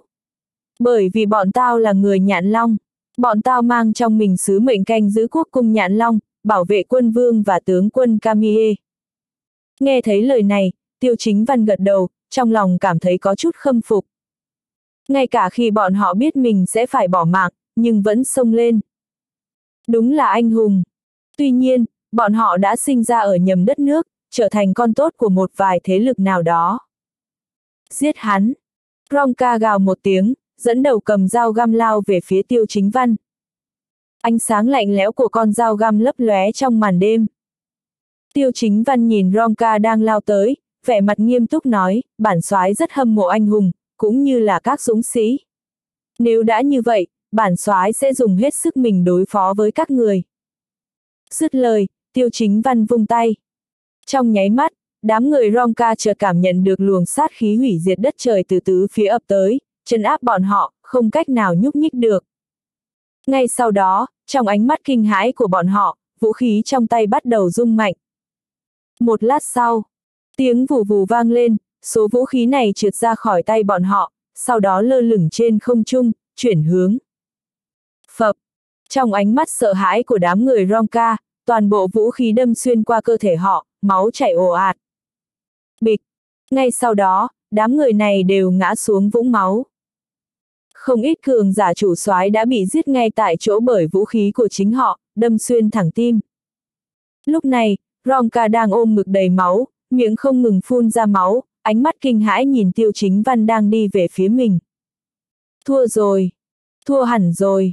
Hắn cười gượng, nhìn tiêu chính văn như quỷ thần, nói, đây là thủ đoạn và thực lực của cường giả thiên vương sao. Tiêu chính văn từ trên cao nhìn xuống Ronka đang quỳ trên mặt đất, nói, đúng vậy. Nghe thấy lời này, Ronka cười nói, giết tôi đi. Tiêu chính văn nhìn hắn, nói anh hy sinh vì quốc gia, tôi rất tôn trọng anh. Dứt lời, tiêu chính văn nhấc tay, con dao quân đội năm cạnh lóe lên ánh sáng lạnh lẽo, cứ cổ Ronka. Bịch, Ronka ngã trong vũng máu, không còn hơi thở. Cường giả chủ soái cấp 6 sao của Nhãn Long vào giây phút ấy đã ghi danh lịch sử, bỏ mạng ngay trước tiêu chính văn. Đúng lúc này, một cơn gió lạnh thổi qua quảng trường. Mùi máu tanh nồng không hề giảm đi. Tại cửa quốc cung, quân vương Nhạn Long cùng tướng quân Camille và những người khác, chứng kiến cường giả chủ soái của Nhạn Long chết đầy trên mặt đất, đều sững sờ, trên mặt lộ ra vẻ kinh hãi. 13 vị cường giả chủ soái đều bị người đàn ông đó giết sạch. Lúc này tiêu chính văn không khác nào thần chết. Khi mọi người nhìn thấy tiêu chính văn quay người đi về phía bọn họ, chán không ngừng túa mồ hôi lạnh. Lúc này, nhiều người chỉ đơn giản không thể chịu được sức ép và sát khí trên người của tiêu chính văn, vì vậy đã quỳ dạp trên mặt đất, bắt đầu xin tha. Tiêu chính văn không thèm để ý mà lạnh lùng nhìn chằm chằm vào gã tướng quân Kamihe mập mạp và quân vương nhãn long, lạnh lùng nói, rút quân. Quân vương nhãn long đã sợ mất mật, ông ta vội vàng gật đầu nói, rồi, bản vương lập tức rút quân. Tuy nhiên, tướng quân Kamihe lại tức giận gào lên, không được rút quân. Một khi chúng ta rút quân, nhãn long sẽ rơi vào cảnh muôn đời muôn kiếp không trở lại được. Các nước phương Tây đang chờ phát súng đầu tiên của chúng ta. Chúng ta rút quân lúc này đồng nghĩa với việc phản bội các nước phương Tây. Từ đó, chúng ta sẽ đánh mất vị thế của mình trên trường quốc tế. Cũng có nghĩa là sau này, chúng ta sẽ đánh mất thế chủ động. Nghe thấy những lời này, quân vương Nhãn Long lo lắng nói, tướng quân Kamihe, không được đánh nữa. 13 vị cường giả chủ soái đã bỏ mạng rồi. Nếu chúng ta còn tiếp tục đánh, e là chúng ta sẽ bị tiêu diệt bởi Hoa Quốc. Rút quân, bản vương muốn rút quân. Nhưng, giây tiếp theo, Camille lập tức rút súng ra, dí vào chán quân vương, hét lớn, nếu ông dám rút quân, bản tướng sẽ giết ông. Lúc này, toàn bộ sảnh chính của quốc cung trở nên hỗn loạn. Quân vương nhãn long run lên bần bật, ánh mắt kinh hãi nhìn tiêu chính văn, nói, không phải bản vương không rút quân, là tướng quân Kamihe không đồng ý, toàn bộ quyền lực quân sự của nhãn long đều nằm trong tay hắn, tôi chỉ là một con rối thôi. Tiêu chính văn nheo mắt nhìn Kamihe. Kamihe cười lạnh lùng, nói, vua Bắc Lương, cho dù mày giết được nhiều cường giả chủ soái như vậy thì sao? 300.000 quân nhãn long chuẩn bị tấn công Nam Thục rồi. Tới lúc đó, các nước phương Tây sẽ đoàn kết chống lại Hoa Quốc, tao xem mày giải quyết thế nào. Tiêu chính văn cao u mày, ánh mắt sắc bén nhìn chằm chằm vào Camille nói tôi đã cho anh cơ hội. Nhưng đáng tiếc, anh chọn sai rồi. Hoa Quốc không sợ bất cứ sự khiêu chiến nào từ phương Tây. Năm đó, Hoa Quốc ở trong thế khó nhưng vẫn chống lại được tám nước. Người dân Hoa Quốc cũng bước ra từ trong mưa gió máu bùn. Bất kỳ thế lực ngoại lại nào ảo tưởng muốn chiếm lấy Hoa Quốc đều sẽ bị Hoa Quốc nghiền nát. Dứt lời, trong mắt tiêu chính văn hiện rõ sát khí. Trong giây tiếp theo, một tia sáng màu bạc lóe lên trước mặt mọi người. Ngay sau đó, Camille trợn mắt, máu từ cổ bắn ra, cả người ngã xuống đất, biến thành một cái xác. Chứng kiến cảnh này, đám nhân vật cốt cán của nhãn long, bao gồm cả quân vương đều chết sững, gương mặt hoảng hốt xen lẫn kinh hãi. Camille chết rồi. Tiêu chính văn lạnh lùng nhìn quân vương nhãn long đang sợ hãi, nói kẻ nào dám phạm hoa quốc ta, dù xa đến mấy cũng giết sạch. Lần này, nhãn long đã xâm phạm biên giới hoa quốc. Vương quân, ông biết phải làm gì rồi đấy. chương 908, Thiên Vương hai sao. Quân vương nhãn long hoảng hốt không thôi, vội vàng gật đầu nói, vâng, tôi biết nên làm thế nào rồi. Tiêu chính văn lạnh lùng liếc nhìn Camille đang nằm dưới đất, quay người rời khỏi đại sảnh quốc cung nhãn long. Sau khi tiêu chính văn rời đi, quân vương và đám quan chức cấp cao nhạn long mới thở phào nhẹ nhõm. Lúc này trên trán bọn họ đầm đìa mồ hôi lạnh, đờ đẫn hết cả người giống như vừa mới trải qua ranh giới sinh tử. Có điều sau chốc lát, quân vương nhãn long lại ác độc chừng mắt nhìn cái xác của Kamihe dưới mặt đất, gương mặt dần dần lộ ra nụ cười lạnh lùng nham hiểm. Ha ha ha, hắn chết rồi, cuối cùng thì hắn cũng chết rồi. Nhãn long cuối cùng cũng là của quân vương tôi rồi. Quân vương nhãn long bật cười hớn hở, không che giấu nổi sự vui mừng, vẫy tay nói, người đâu? Lập tức truyền lệnh bảo đại quân lui binh. Ngoài ra, thông báo với cả nước tướng quân Camille vì mưu đồ riêng mà câu kết với các nước phương Tây muốn châm ngòi chiến tranh với Hoa Quốc. Bây giờ tướng quân Camille đã bị bắn chết, tịch thu toàn bộ gia sản của tướng quân Camille. Diệt trừ tận gốc thế lực của hắn. Đồng thời, công bố toàn bộ tội trạng của tên giặc này trước toàn dân. Rõ. Mấy sĩ quan và quan chức cấp cao nghe vậy thì cũng vội vàng gật đầu đáp lời. Từ tối ngày hôm nay, Nhãn Long sẽ hoàn toàn lột xác. Quân vương Nhãn Long trở nên mạnh hơn. Cùng lúc này, Tiêu Chính Văn đã trở về tiền tuyến Nam Thục. Sau lưng anh là 100.000 quân Bắc Lương và 50.000 quân Hắc Long đến để chi viện. Lúc này, bên kia đường biên giới, đèn đuốc của đại quân Nhãn Long lờ mờ ẩn hiện. Tiêu chính văn mặc chiến bảo hoa văn rồng xanh, đứng trên một đỉnh núi, đưa mắt nhìn về phía rừng cây um tùm trước mắt và đại quân nhạn long ở phía xa. Sau lưng, Long nhất mặc quân trang, cung kính nói, chủ soái, nhạn long đã rút quân rồi. Tiêu chính văn gật đầu, đáp bảo quân hắc long trở về đi. Rõ, Long nhất đáp lời.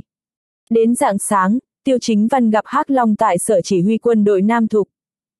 Hắc Long vừa gặp đã ôm Tiêu Chính Văn rồi đấm lên ngực anh một cái, nói Tiêu Chính Văn, cậu khá đấy. Một thân một mình đến quốc cung Nhãn Long, giết hết 13 cường giả cấp chủ soái, ép cho Nhãn Long buộc phải rút quân, đại công luôn đấy. Tiêu Chính Văn cười nhạt, nói, Hắc Long, đừng nịnh bợ tôi, gần đây thế nào rồi? Hắc Long lắc đầu, nói, vẫn thế thôi, luyện binh thật sự vô vị. Nói thật thì tôi vẫn hy vọng Nhãn Long tiến đánh, như vậy thì tôi mới có thể đưa binh lính của mình vào chiến trường thực chiến được. Kinh nghiệm quý báu như vậy rất có lợi đối với những binh lính vừa mới nhập ngũ này. Tiêu chính văn gật đầu, Hắc Long nói không sai. Hiện giờ đang là thời bình, rất nhiều tân binh không có kinh nghiệm thực chiến. Quả thực rất cần một cuộc chiến tranh tàn khốc, cho bọn họ trải nghiệm cảm giác sinh tử, tôi luyện sát khí và dũng khí. Đúng rồi. Hắc Long dường như đột nhiên nhớ ra điều gì, nói, lần trước cậu nói đến chuyện muốn đối phó với hiệp hội cấp cao chín nước, cậu suy xét thế nào rồi, lúc nào thì ra tay. Tiêu chính văn nhìn Hắc Long, cười nói, không vội, tôi đã bảo cơ quan tình báo Bắc Lương và người của Điện Thần Long điều tra chuyện của Nhãn Long lần này rồi. Xem ra phía sau cũng do hiệp hội cấp cao chín nước thao túng. Chỉ cần tìm được chứng cứ xác đáng thì bản soái sẽ đích thân tới trụ sở chính của hiệp hội cấp cao chín nước. Tốt, tới lúc đó nhớ dẫn tôi theo. Hắc Long nghiêm túc nói. Hai người nhìn nhau bật cười. Sáng ngày hôm đó, Hắc Long đã dẫn 100.000 quân Hắc Long trở về chiến khu Nam Lĩnh. Mà sau khi xử lý xong chuyện ở Nam Thục thì Tiêu Chính Văn cũng trở về Tây Thục. Thế nhưng, điều khiến cho anh bất ngờ là anh vừa về đến Tây Thục thì Liễu Thanh cũng tự mình tìm tới. Hai người gặp mặt trong quán cà phê. Mặt Liễu Thanh nhập tràn vẻ do dự, sau cùng dường như cũng đã hạ quyết tâm, nói chủ soái tiêu, tôi tình nguyện trở thành thuộc hạ của anh, thay anh làm việc. Đây cũng là điều mà vợ khuyên tôi. Cô ấy nói, đàn ông con trai trí lớn ở bốn phương, nếu như tôi có sức mạnh lớn thì cũng nên đền đáp cho quốc gia, do đó tôi quyết định đi theo anh. Có điều tôi muốn xin chủ soái tiêu cho tôi chút thời gian, tôi muốn ở lại Nam Thục xử lý xong xuôi chuyện nhà họ sư. Đợi tôi giải quyết xong thì sẽ tới tìm anh. Tiêu chính văn hiểu ý của Liễu Thanh, anh nói, được. Nghe vậy, Liễu Thanh bật cười, tảng đá lớn trong lòng cũng được chút xuống. Anh ta còn lo lắng tiêu chính văn sẽ không đồng ý. Bây giờ xem ra quả nhiên sư song song không hề sai. Chủ soái tiêu khoan dung phóng khoáng, hơn nữa nhân cách còn chính trực và anh minh. Sau khi tạm biệt Liễu Thanh, tiêu chính văn trở về khách sạn. Khương Vi Nhan lo lắng cả đêm, thấy tiêu chính văn bình an vô sự trở về thì kích động đến mức rưng rưng nước mắt, ôm lấy tiêu chính văn nói, chồng à, cuối cùng anh cũng trở về rồi, em lo chết mất thôi. Làm gì có người vợ nào không lo lắng khi chồng mình ra trận chứ? Việc Khương Vi Nhan lo lắng hoàn toàn là biểu hiện chân thành nhất của tình yêu. Tiêu chính văn véo gương mặt trắng nõn của Khương Vi Nhan, nói, được rồi, không sao rồi, chúng ta trở về thôi. Vâng. Khương Vi Nhan gật đầu. Chiều ngày hôm đó, Tiêu Chính Văn và Khương Vi Nhan cùng trở về Giang Trung. Vừa tới Giang Trung, Tiêu Chính Văn đã nhận được điện thoại của Tần Hán Quốc. Đầu dây bên kia, trước tiên Tần Hán Quốc biểu dương khen ngợi, sau khi bảo rằng thiên tử rất vui thì mới nói, Tiêu Chính Văn, hiện giờ bốn gia tộc lớn tạm thời sẽ không ra tay với cậu. Bởi vì thiên tử đã hạ lệnh, nếu như bốn gia tộc lớn dám làm trái thì thiên tử sẽ thẳng tay xử lý. Thế nhưng, thời gian này cũng có hạn định, chỉ có ba tháng thôi. Vậy nên trong vòng ba tháng, cậu phải nắm bắt tất cả cơ hội và thời gian, không ngừng nâng cao thực lực của bản thân. Tiêu chính văn nghe vậy thì nhíu mày nói, ba tháng ư. Đúng, chỉ có ba tháng, đây là thời gian dài nhất mà thiên tử có thể giành lấy cho cậu. Tần Hán Quốc nói bằng giọng điệu nghiêm trọng, ngoài ra, tôi vẫn cần nói với cậu một chuyện, viên hỗn thiên một trong năm cụ tổ nhà họ viên đã xuất quan rồi. Thực lực của ông ta sớm đã đạt tới cảnh giới thiên vương vào mười mấy năm trước. Theo tình báo của chúng tôi, sau ba tháng, viên hỗn thiên sẽ khiêu chiến trên võ đài với cậu. Là võ đài sinh tử, cậu phải chuẩn bị cho tốt vào. Tiêu chính văn hít sâu vào một hơi, nói ông Tần, không cần phải lo lắng, nếu như nhà họ viên đã không biết hối cải, một lòng muốn tìm đến cái chết, vậy thì tôi sẽ cho bọn họ được toại nguyện. Nghe thấy lời này, Tần Hán Quốc cuống cuồng, nói, thằng nhóc này. Cậu không được làm bừa đâu. Viên hỗn thiên là cường giả thiên vương thật sự đấy. Hiện giờ cậu mới là bán bộ thiên vương, sao có thể? Ông Tần, ai nói tôi là bán bộ thiên vương thế? Tiêu chính văn bật cười hỏi ngược lại. Đầu dây bên kia trầm mặc một lát, sau đó vang lên giọng nói kích động của Tần Hán Quốc, thằng nhóc thối tha. Lẽ nào cậu đã đột phá rồi? Cảnh giới gì thế? Thiên vương. Tiêu chính văn bình thản cười nói. Tiếp đó, đầu dây bên kia truyền tới tiếng cười sảng khoái của bốn ông cụ. Tốt, thằng nhóc này khá. Ha ha ha, cảnh giới thiên vương, tiêu thiên vương, tốt. Nếu đã như vậy thì mấy ông già chúng tôi không cần phải lo lắng nữa. Có điều cậu phải giữ cho vững cảnh giới của mình. Viên hỗn thiên đó rất có khả năng đã là cường giả thiên vương huyền cấp 2 sao rồi. Giang Vạn Long giành lấy điện thoại nhắc nhở. Tiêu chính văn nghe vậy thì nhíu mày, ánh mắt lóe lên vẻ lạnh lùng, nói ông Giang, tôi biết rồi. Nói xong, tiêu chính văn cúp điện thoại, trong mắt ánh lên tia sáng sắc lạnh. Viên hỗn thiên, cường giả thiên vương huyền cấp 2 sao ư chương 909, kế hoạch hạ độc. Nếu như nhà họ viên đã không chịu để yên, vậy thì đương nhiên tiêu chính văn cũng không có lý do gì để dừng tay lại. Những ngày sau đó, tiêu chính văn đều ở bên cạnh Khương Vi Nhan. Mỗi ngày, anh đúng giờ đưa đón Khương Vi Nhan đi làm, đồng thời cũng bỏ ra ít thời gian giúp Khương Vi Nhan luyện tập thực chiến. Không thể không nói, năng lực của Khương Vi Nhan rất cao. Chỉ trong vòng hơn một tuần ngắn ngủi, cô đã ổn định được cảnh giới chiến thần một sao. Bây giờ dù Khương Vi Nhan có gặp vài cường giả quân vương thiên cấp 4 sao thì cũng có đủ năng lực để tự bảo vệ mình. Phù phù. Khương Vi Nhan thở hắt mấy hơi, nhìn Tiêu Chính Văn bên cạnh, cười hỏi, chồng à, em thế nào? Tiêu Chính Văn giơ ngón tay cái lên, nói, rất tốt, tiến bộ nhanh hơn rất nhiều so với tất cả những người anh từng gặp. Nghe vậy, Khương Vi Nhan nở nụ cười vui vẻ. Trong lòng cô không ngừng tự cổ vũ mình, nhất định phải nỗ lực thật nhiều, bản thân phải trở nên mạnh hơn. Như vậy thì sau này cô mới có thể bảo vệ tốt cho Nana và Tiêu Chính Văn. Nếu như Tiêu Chính Văn gặp phải rắc rối hoặc bị trọng thương giống như lần trước, thì bản thân cô có thể thay anh gánh vác tất cả. Cứ như vậy, sau khi luyện tập hơn một tiếng đồng hồ, Khương Vi Nhan tắm rửa thay đồ rồi nói với Tiêu Chính Văn, chồng ơi, tối nay có một bữa tiệc thương nghiệp, anh có muốn tham gia cùng với em không? Bữa tiệc thương nghiệp. Tiêu Chính Văn nghĩ ngợi, đặt mấy mảnh giấy cũ của cuốn Thiên Sơn Thư Lục trong tay xuống, cười nói, được thôi. Dù gì thì cũng rảnh rỗi, chỉ bằng ra ngoài chút xem sao. Mà cùng lúc này, bên trong một căn biệt thự ở vùng ngoại ô Giang Trung. Bốn bóng người mặc áo khoác dài màu đen đứng trong phòng khách biệt thự tối đen như mực. Tiêu chính văn đã trở về rồi, dựa theo tình báo của chúng ta, tối nay hắn sẽ tham gia một buổi tiệc thương nghiệp, mục tiêu của chúng ta rất đơn giản, hạ độc giết chết hắn ngay trong bữa tiệc. Một người đàn ông mặc đồ đen trong số đó lên tiếng nói với vẻ nham hiểm. Trên mặt hắn đeo mặt nạ giống như ma quỷ, đem đến cho người ta một loại cảm giác thâm hiểm ác độc.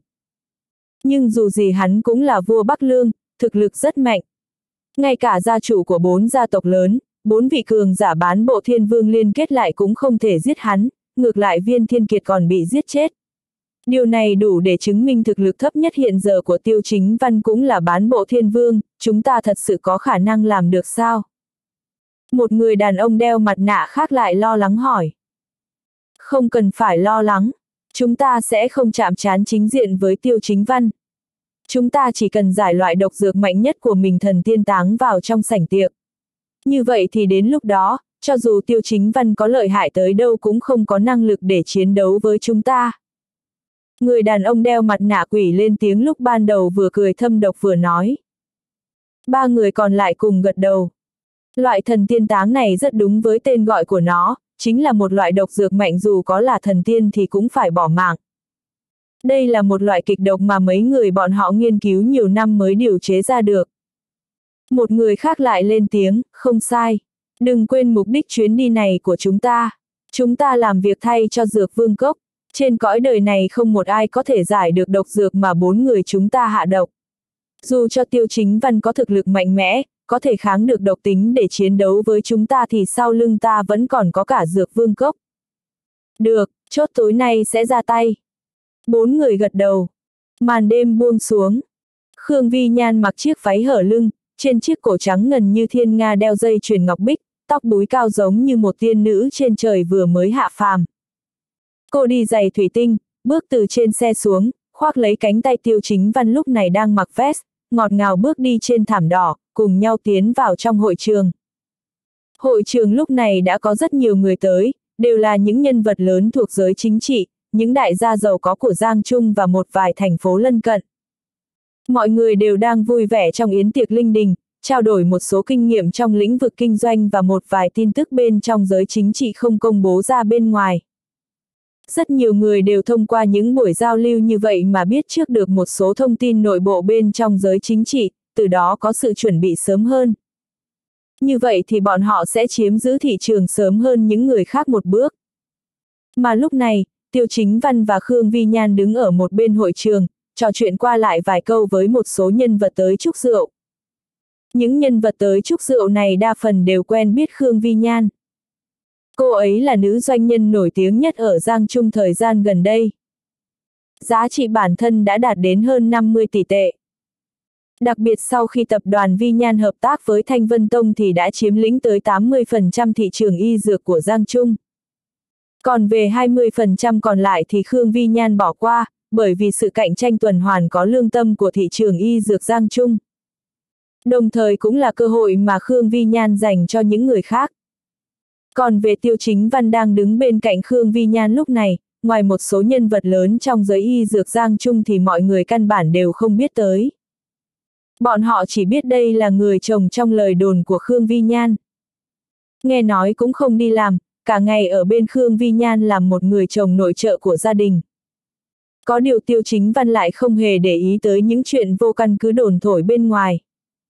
Thế nhưng, vào lúc này, một người đàn ông trẻ tuổi phong độ bước ra từ trong đám người, trong tay cầm ly rượu whisky bước thẳng tới trước mặt Khương Vi Nhan, nở một nụ cười đẹp trai đã làm hấp hồn biết bao cô gái, nói, xếp Khương, chào cô, rất vui khi được gặp cô ở đây. Tôi là cậu hai nhà họ đường ở Cảnh Châu, tên là Đường Nhất Phàm. Khương Vi Nhan nhìn người đàn ông đẹp trai phong độ trước mắt, khẽ cười nói, chào anh, chúng ta có quen biết nhau sao? Đường Nhất Phàm cười nói, xếp Khương, không phải chúng ta đang làm quen đây sao? Nói xong hắn lại nở một nụ cười mà tự hắn tự cho là vô cùng đẹp trai. Nếu như là một cô gái nhỏ tuổi chưa trải sự đời thì rất có thể đã bị nụ cười đẹp trai này của hắn lừa gạt. Thế nhưng Khương Vi Nhan không phải một cô gái nhỏ tuổi, đôi lông mày lá liễu của cô khẽ nhướng lên, trong lòng nảy sinh cảm giác phòng bị đối với đường nhất phàm. Người này vừa nhìn đã biết là một công tử bột. Vậy nên Khương Vi Nhan chỉ cười nhạt, hỏi, không biết cậu chủ đường có chuyện gì vậy? Đường Nhất Phàm nói, xếp Khương, nhà họ đường chúng tôi cũng kinh doanh về y dược ở Cảnh Châu, tôi nghe nói đa phần thị trường y dược ở Giang Trung đều nằm trong tay xếp Khương, vậy nên tôi muốn bàn chuyện hợp tác cùng xếp Khương. Nghe vậy, Khương Vi Nhan nhíu mày, sau đó lại giãn ra, cười nói, vậy cậu chủ đường muốn hợp tác thế nào? Nếu như là chuyện hợp tác, vậy thì tạm thời Khương Vi Nhan sẽ buông bỏ phòng bị với đường nhất phàm. Dù gì Khương Vi Nhan cũng muốn tập đoàn Vi Nhan ở Giang Trung được mở rộng ra các địa phương khác, phát triển thực lực của tập đoàn Vi Nhan. Đường Nhất Phàm thấy Khương Vi Nhan có hứng thú liền cười nói, như này đi, xếp Khương, nơi này không tiện nói chuyện, hay là đêm nay cô đến phòng tôi, chúng ta bàn bạc thâu đêm, thế nào? Vừa dứt lời, Khương Vi Nhan sững sờ, sau đó cau mày, đôi mắt lóe lên vẻ phẫn nộ, lập tức hất ly rượu vang trong tay lên mặt đường nhất phàm. Trong nháy mắt, cả hội trường phát ra những âm thanh kinh ngạc. Tất cả mọi người đều sướng sờ nhìn cảnh tượng trước mắt. Lúc này, khắp mặt đường nhất phàm đều là rượu vang, ngay cả chiếc áo sơ mi trắng trên người cũng nhuốm một màu đỏ. Trời đất, người này là cậu hai nhà họ đường ở Cảnh Châu đường nhất phàm đấy. Nhà họ đường này rất có tiếng nói ở Cảnh Châu. Ông cụ nhà họ dường có tài sản và các quan hệ lớn ở Phong Diệp. Nghe nói cũng rất thân quen với ông lớn quân khu Cảnh Châu. Tiêu rồi, Khương Vi Nhan này lại dám hất rượu vang lên người anh ta, đúng là rước họa vào thân mà. Đây là một cậu chủ thích đùa giỡn với đời, nghe nói rất nhiều cô gái bị anh ta chơi đùa xong đến cuối cùng đều ấm ức tự sát. Đặc biệt là câu chuyện mới lộ ra gần đây. Chuyện gì thế, chuyện của anh ta rất lớn, phải giữ bí mật đấy. Đám người xung quanh bàn tán sôi nổi. Lúc này đường nhất phàm bừng bừng lửa giận, hai mắt đỏ ngầu. chương 910, Khương Vi Nhan lạnh lùng bá đạo. Rõ ràng lúc này đường nhất phàm đang vô cùng phẫn nộ. Hắn là cậu hai của nhà họ đường ở Cảnh Châu, xuất thân giàu có, từ nhỏ đã được nuông chiều, chưa phải chịu thiệt thòi bao giờ, càng chưa từng bị người ta sỉ nhục bằng cách hất rượu vang lên mặt như thế. Trước đây, chỉ cần bản thân hắn thể hiện vẻ đẹp trai và hấp dẫn của mình là vô số cô gái não tàn sẽ ùn ùn kéo tới. Chỉ muốn được ngủ với hắn một đêm. Thế nhưng hôm nay, Khương Vi Nhan đáng chết này lại dám hất toàn bộ rượu vang lên trên mặt hắn. Đây là sự sỉ nhục. Sự lăng mạ. Đường nhất phàm đang bừng bừng lửa giận. Trước đây chỉ có hắn đi sỉ nhục người khác, chưa từng có ai dám to gan nhục mạ hắn như thế. Một nữ tổng giám đốc của tập đoàn Vi Nhan ở Giang Trung mà lại dám đối xử với hắn như vậy sao? Tất cả nỗi thống hận của đường nhất phàm đối với Khương Vi Nhan lúc này rõ ràng đều đã biến thành ham muốn được đè cô dưới thân mình để thỏa mãn dục vọng thèm khát. Chỉ có như vậy thì hắn mới có cảm giác chinh phục. Hắn nhất định phải khiến cho Khương Vi Nhan quỳ trên người hắn để hầu hạ, sau đó phải mở miệng cầu xin. Đồ đàn bà đê tiện, cô dám hát rượu vang lên trên người tôi ư, cô có biết tôi là ai không hả? Tôi là cậu hai nhà họ đường ở Cảnh Châu đấy. Đường nhất phàm nhận lấy khăn mặt mà nhân viên phục vụ đưa cho, ra sức lau rượu vang trên mặt, ánh mắt cay độc nhìn Khương Vi Nhan chằm chằm. Khương Vi Nhan lạnh lùng nhìn đối phương, nói, ban nãy tôi đã biết rồi. Thế nhưng đây không phải là thứ để anh kiêu ngạo và trơ cháo. Hành vi vừa rồi của anh đã quấy rối tôi. Nếu như tôi muốn thì bây giờ có thể báo cảnh sát bắt anh luôn. Ha ha! Nghe Khương Vi Nhan nói muốn báo cảnh sát bắt mình, đường nhất phàm cười lớn, nói, xếp Khương, cô đúng là biết nói đùa. Báo cảnh sát bắt tôi ư, cô cứ báo đi, tôi rất muốn xem xem cả cái giang trung bé nhỏ này có ai dám ra tay bắt tôi hay không. Đường nhất phàm nói không sai. So ra thì Cảnh Châu thậm chí còn lớn hơn Giang Trung một chút. Thế lực của nhà họ đường ở Cảnh Châu có thể hình dung là dùng tay che trời. Bắt đường nhất phàm rõ ràng chỉ là mộng tưởng hão huyền mà thôi. Không ít khách mời tham gia buổi tiệc ngày hôm nay khi nhìn thấy Khương Vi Nhan và đường nhất phàm nảy sinh xung đột thì đều cười trên nỗi đau của người khác. Dù sao hiện giờ tập đoàn Vi Nhan ở Giang Trung có thể nói là thanh danh lừng lẫy. Rất nhiều người ngoài mặt sẽ không nói gì nhưng sâu trong lòng lại tràn đầy ý đối địch đối với tập đoàn Vi Nhan. Sợ rằng một ngày nào đó tập đoàn Vi Nhan này sẽ chen chân vào sản nghiệp và thị trường của bọn họ, như vậy thì mọi người đều không còn cơm để mà ăn nữa. Hơn nữa, Khương Vi Nhan lại từ nơi khác đến, không có bất cứ nền móng gì ở Giang Trung, chỉ nhờ hợp tác với Thanh Vân Tông nên mới có được cục diện và thị trường như hiện giờ. Vậy nên rất nhiều người cũng đang thầm tính toán trong lòng muốn giành lấy thị trường của tập đoàn Vi Nhan. Ôi, đắc tội với đường nhất phàm thì cũng chẳng khác nào đắc tội với nhà họ đường. Tập đoàn Vi Nhan e rằng sắp gặp họa lớn rồi. Lại chả thế, đường nhất phàm là một cậu ấm có tiếng ác độc ở Cảnh Châu. Khương Vi Nhan sắp gặp nguy hiểm rồi đây. Anh nhìn người đàn ông bên cạnh Khương Vi Nhan kia đi, là chồng của cô ta à? Vậy mà lại không nhúc nhích tí nào, vợ của mình bị người ta trêu ghẹo mà người đàn ông này vẫn không buồn ra tay. Đối diện với sự chỉ trích và lời bàn tán của mọi người, Tiêu Chính Văn vẫn điềm nhiên ngồi trên ghế sofa, yên lặng nhìn cảnh tượng trước mắt. Không phải anh không muốn ra tay, chỉ là có những lúc Khương Vi Nhan cần phải trưởng thành, không thể cứ mãi núp dưới sự che chở của anh. Vậy nên Tiêu Chính Văn lựa chọn im lặng quan sát. Khương Vi Nhan khi nghe thấy những ngôn từ sặc mùi uy hiếp của đường nhất phàm thì đanh mặt lại, lạnh lùng nói, cậu chủ đường, nơi này là Giang Trung chứ không phải Cảnh Châu, không phải nơi anh thích là có thể dở trò lưu manh. Nói xong, Khương Vi Nhan quay người nhìn Tiêu Chính Văn, nói, chồng à, chúng ta đi thôi. Tiêu Chính Văn gật đầu, khẽ cười rồi đứng dậy, ánh mắt sắc lạnh nhìn đường nhất phàm lúc này đang bừng bừng lửa giận, không nói một lời nào mà đi theo Khương Vi Nhan định rời đi. Thế nhưng, đường nhất phàm đã nổi điên. Đáng hận. Thật sự là đáng hận. Người phụ nữ đáng chết này lại không coi mình ra gì cả. Tốt. Rất tốt. Loại phụ nữ như này mới là đối tượng mà mình thích. Loại phụ nữ như này khi chinh phục mới có khoái cảm. Đường nhất phàm lập tức giơ tay ra túm lấy bả vai của Khương Vi Nhan muốn kéo cô lại. Thế nhưng khoảnh khắc đó, Khương Vi Nhan đã cảm nhận được động tác của đường nhất phàm phía sau lưng, cô né sang một bên đồng thời giơ tay túm lấy cổ tay đang vươn ra của đường nhất phàm. Một tiếng rắc vang khắp cả hội trường. Khương Vi Nhan thẳng tay bẽ gãy xương cổ tay của đường nhất phàm ngay và luôn. Á! đường nhất phàm lập tức giống lên, ôm lấy cổ tay của mình, khom lưng lại, sắc mặt đỏ bừng, không ngừng lùi lại phía sau. Đồng thời, hắn cũng chừng mắt nhìn Khương Vi Nhan bằng ánh mắt thâm độc, gào mồm nói, đáng chết. Con đàn bà đê tiện mày lại dám bẻ gãy cổ tay tao. Tao phải giết chết mày. Tao phải khiến cho mày quỳ xuống nói xin lỗi tao. Tao phải giày vò trà đạp lên mày. Cái con đàn bà đê tiện nhà mày. Đám khách mời đứng xem xung quanh đều há hốc miệng, mở to mắt, đờ đẫn nhìn cảnh tượng trước mắt. Đã, đã xảy ra chuyện gì vậy?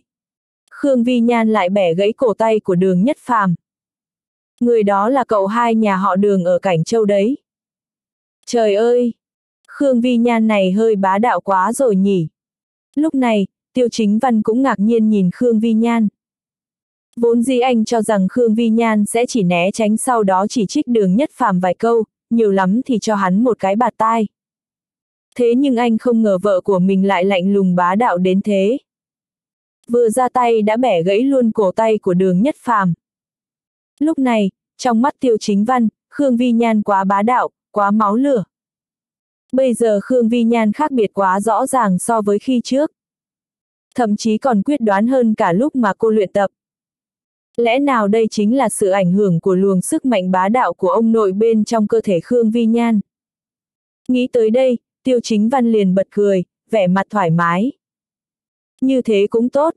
Khương Vi Nhan không còn yếu mềm nữa chính là cảnh tượng mà anh muốn nhìn thấy nhất. Cùng lúc này, ánh mắt lạnh lùng của Khương Vi Nhan nhìn chằm chằm vào đường nhất phàm, cô tiến lên vài bước, sau đó giơ chân đá trúng vào cằm của đường nhất phàm trong ánh mắt kinh ngạc của tất cả mọi người, khiến cho hắn bay lên cao 2 mét, sau đó nặng nề văng ra xa, dầm một tiếng ngã lăn trên mặt đất. Cả hội trường lập tức im phăng phắc. Khương Vi Nhan lạnh lùng hừ một tiếng, nhíu đôi mắt xinh đẹp, đôi chân dài thẳng tắp và trắng muốt đang dơ trên không trung cũng hạ xuống, đồng thời kéo váy lại để che đi đôi chân tuyệt đẹp của mình. Cô lạnh lùng chừng mắt nhìn đường nhất phàm đang nằm dưới đất và ôm lấy miệng, mãi một lúc lâu sau vẫn không thể bò dậy nổi. Cô lạnh lùng cảnh cáo, đường nhất phàm, cậu chủ nhà họ đường, tôi cảnh cáo anh. Nơi này là Giang Trung, không phải cảnh châu của anh. Anh vẫn chưa đủ tư cách để dở trò ở đây đâu. Ngoài ra, nếu như anh không phục thì cứ việc đến tìm tôi. Tôi đợi anh ở tập đoàn Vi Nhan. Nói xong, Khương Vi Nhan xoay người, dáng người thẳng tắp, mỉm cười dịu dàng với Tiêu Chính Văn đang đứng bên cạnh, khoác lấy cánh tay của anh, ngọt ngào nói, chồng à, chúng ta đi thôi. Tiêu Chính Văn gật đầu, quay người rời đi cùng Khương Vi Nhan. Mà trong đại sảnh, lúc này mấy tên vệ sĩ mới xông đến rồi vội vàng đỡ đường nhất phàm đang nằm dưới đất dậy, quan tâm hỏi han cậu chủ, anh không sao chứ? Đường nhất phàm phẫn nộ bùng dậy, chỉ tay vào mặt bọn họ mà quát mắng, đồ vô dụng. Mẹ kiếp, chúng mày bị mù à? Đi đâu hết cả lũ thế? Ông đây bị người ta đánh ta nông nỗi này mà chúng mày mới chịu xuất hiện. Mấy tên vệ sĩ đó im lặng, không dám phản bác. Đường nhất phàm đứng dậy, ánh mắt lạnh lùng nhìn theo bóng lưng rời đi của Khương Vi Nhan, căm hận nói, con đàn bà thối tha, mày cứ đợi đấy cho tao. Tao nhất định sẽ làm nhục mày tới chết. Người đâu, lập tức triệu tập cao thủ họ đường, cậu chủ tao muốn bao vây tập đoàn Vi Nhan. chương 911, mày là thiên vương sao? Tiêu Chính Văn và Khương Vi Nhan bước ra khỏi hội trường, tay nắm tay, sải bước đi bên cạnh công viên. Đã rất lâu không cùng nhau tản bộ thư thả như vậy rồi nên Khương Vi Nhan và Tiêu Chính Văn đều rất hưởng thụ khoảng thời gian như thế này. Đến tận bây giờ trong lòng Khương Vi Nhan vẫn còn hơi bực bội. Đường nhất phàm kia quá đáng ghét, không phải anh ta chỉ là cậu ấm trong gia tộc có tiền có quyền thôi hay sao, vậy mà lại sỉ nhục phụ nữ như thế. Nếu ư lần sau còn gặp lại anh ta thì em còn phải đánh đau hơn nữa. Khương Vi Nhan siết chặt bàn tay nhỏ bé, nghiến răng nghiến lợi, trong mắt lóe lên tia sáng. Tiêu chính văn nhìn Khương Vi Nhan bên cạnh, cười nói, được rồi, ban nãy em cũng đã dạy dỗ hắn không tệ rồi. Lúc này Khương Vi Nhan mới thở ra một hơi, nhìn tiêu chính văn, nói, chồng à, em xin lỗi, vừa nãy có phải em đã quá kích động hay không, liệu có mang tới rắc rối cho công ty không nhỉ? Bây giờ nghĩ lại, Khương Vi Nhan cảm thấy vừa nãy bản thân đã quá kích động. Dù gì đó cũng là cậu hai nhà họ đường ở Cảnh Châu. Ở Cảnh Châu, nhà họ đường cũng là thế lực một tay che trời. Đắc tội với nhà họ đường thì chắc hẳn sẽ không thể kết thúc nhẹ nhàng như thế. Vậy nên bây giờ Khương Vi Nhan lo lắng cũng không phải là không có lý. Thế nhưng, Tiêu Chính Văn lại kéo lấy bàn tay của cô, bình thản nói, không sao, chỉ là một nhà họ đường mà thôi, nếu như bọn họ không có chừng mực thì anh sẽ giải quyết thay em. Biểu hiện ban nãy của em không tồi chút nào. Gặp chuyện thì nên quyết đoán và bá đạo như thế. Chỉ có như vậy thì người khác mới biết sợ em. Đặc biệt là đối với một cậu ấm giống như đường nhất phàm thì càng cần phải mạnh tay hơn. Tiêu chính văn nói xong, Khương Vi Nhan cười ngọt ngào rồi nhón chân thơm một cái lên trên má anh. Tiêu chính văn ngẩn ngơ, gương mặt ngập tràn hạnh phúc. Sau đó, hai người cùng nắm tay nhau, men theo con đường nhỏ dải đá đi bộ về phía trước. Ban đêm vẫn luôn là thời điểm nhạy cảm. Lúc này, tiêu chính văn nhướng mày, đáy mắt lóe lên tia sáng sắc bén. Sao thế chồng? Khương Vi Nhan cũng nhận ra sự khác lạ của tiêu chính văn, cô nhíu chặt đôi mày lá liễu hỏi. Tiêu chính văn làm động tác suyệt, nói, nhỏ tiếng chút, có người theo đuôi chúng ta, bốn người. Thực lực không hề thấp, cao nhất là cường giả chủ soái thiên cấp 4 sao. Thấp nhất là cường giả chủ soái huyền cấp 2 sao. a à, sao lại? Nghe đến đây, Khương Vi Nhan khẽ sừng sốt, vô cùng kinh ngạc, trong ánh mắt cũng ngập tràn vẻ sợ hãi. Sao lại có cường giả chủ soái theo dõi bọn họ? Lẽ nào là, người của đường nhất phàm? Khương Vi Nhan nghi hoặc hỏi, ánh mắt quét khắp bốn phía công viên trong màn đêm đen. Đây là một khu nghỉ ngơi ở gần hội trường, ánh đèn mờ ảo, kế đó cũng chỉ toàn là cây cối, còn có mấy cái tròi nghỉ mát. Tiêu chính văn nắm chặt lấy bàn tay nhỏ bé đang lạnh toát và run rẩy của Khương Vi Nhan, nói, không sao, đi về phía trước, đừng quay đầu, cứ vờ như không biết. Vâng. Khương Vi Nhan gật đầu, nắm lấy đôi bàn tay to lớn và ấm áp của tiêu chính văn, cứ thế tiến về phía trước. Mà lúc này, cách tiêu chính văn và Khương Vi Nhan khoảng chừng 4, 50 mét có bốn bóng người mặc áo khoác dài màu đen và đeo đủ loại mặt nạ có kiểu dáng khác nhau đang nhìn chằm chằm vào bóng lưng của bọn họ bằng ánh mắt thâm độc. Lúc này, gã đàn ông dẫn đầu đeo mặt nạ quỷ lạnh lùng lên tiếng, chuyện ở trong hội trường khi nãy xảy ra quá đột ngột, chúng ta không có cách nào để ra tay. Bây giờ nơi này chính là địa điểm và cơ hội tuyệt nhất để cho chúng ta hành động. Nhất định phải giết chết hắn chỉ với một đòn. Mọi người, cẩn thận một chút. Theo như tình báo, tiêu chính văn đó ít nhất cũng là cường giả bán bộ thiên vương. Chúng ta không thể chiến đấu gần với hắn, càng không thể đấu lâu. Tìm được cơ hội thì phải đưa ngay thần tiên táng vào trong cơ thể hắn. Ba người còn lại cùng gật đầu, sau đó bắt đầu chia nhau ra hành động. Bên phía tiêu chính văn cũng cảm nhận được cảm giác nguy hiểm càng tới gần. Đột nhiên, tiêu chính văn dừng bước. Bốn bóng người cách anh bốn, 50 mét phía sau lưng cũng dừng bước.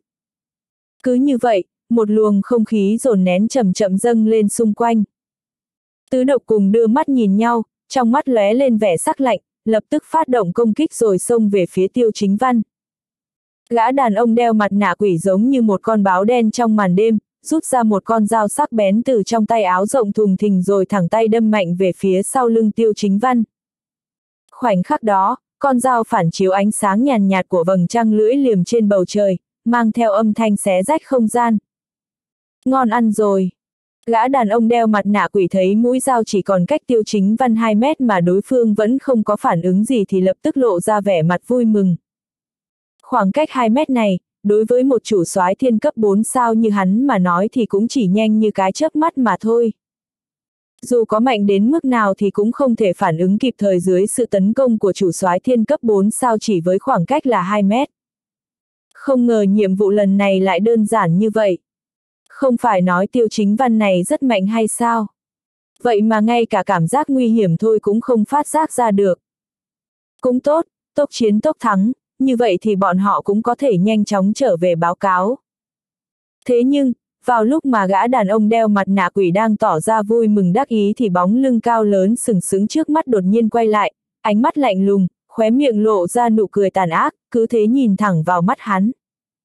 Chủ soái cấp thiên bốn sao, cũng khá đấy. Tiêu chính văn lạnh lùng nhìn đối phương. Lúc này, gã đàn ông đeo mặt nạ ngập tràn vẻ kinh sợ. Sao có thể như vậy chứ? Đối phương đã phát giác ra rồi, hơn nữa còn có thể quay người lại trong khoảng thời gian ngắn như thế. Thế nhưng, tại sao con dao của mình lại không đâm chúng? Đợi đã. Lúc này gã đàn ông đeo mặt nạ quỷ mới đột nhiên phản ứng trở lại, khoảng cách giữa mình và tiêu chính văn dường như vẫn còn 2 mét. Khoảnh khắc vừa rồi, cả người mình chỉ tiến lên trước có 5cm.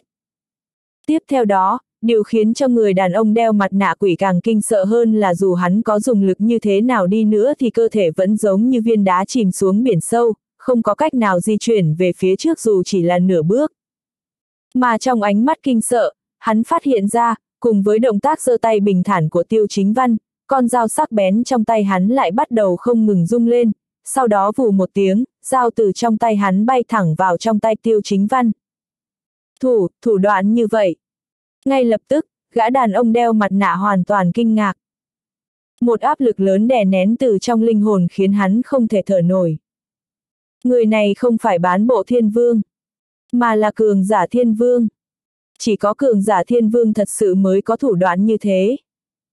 Mày, mày là cường giả thiên vương sao?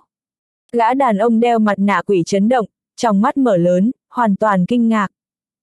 Tiêu chính văn cười nhạt, trong tay cầm con dao găm, chỉ liếc mắt nhìn rồi lạnh lùng cười nói, con dao này có kịch độc, xem ra mấy người không phải đến từ nhà họ đường. Nhà họ đường.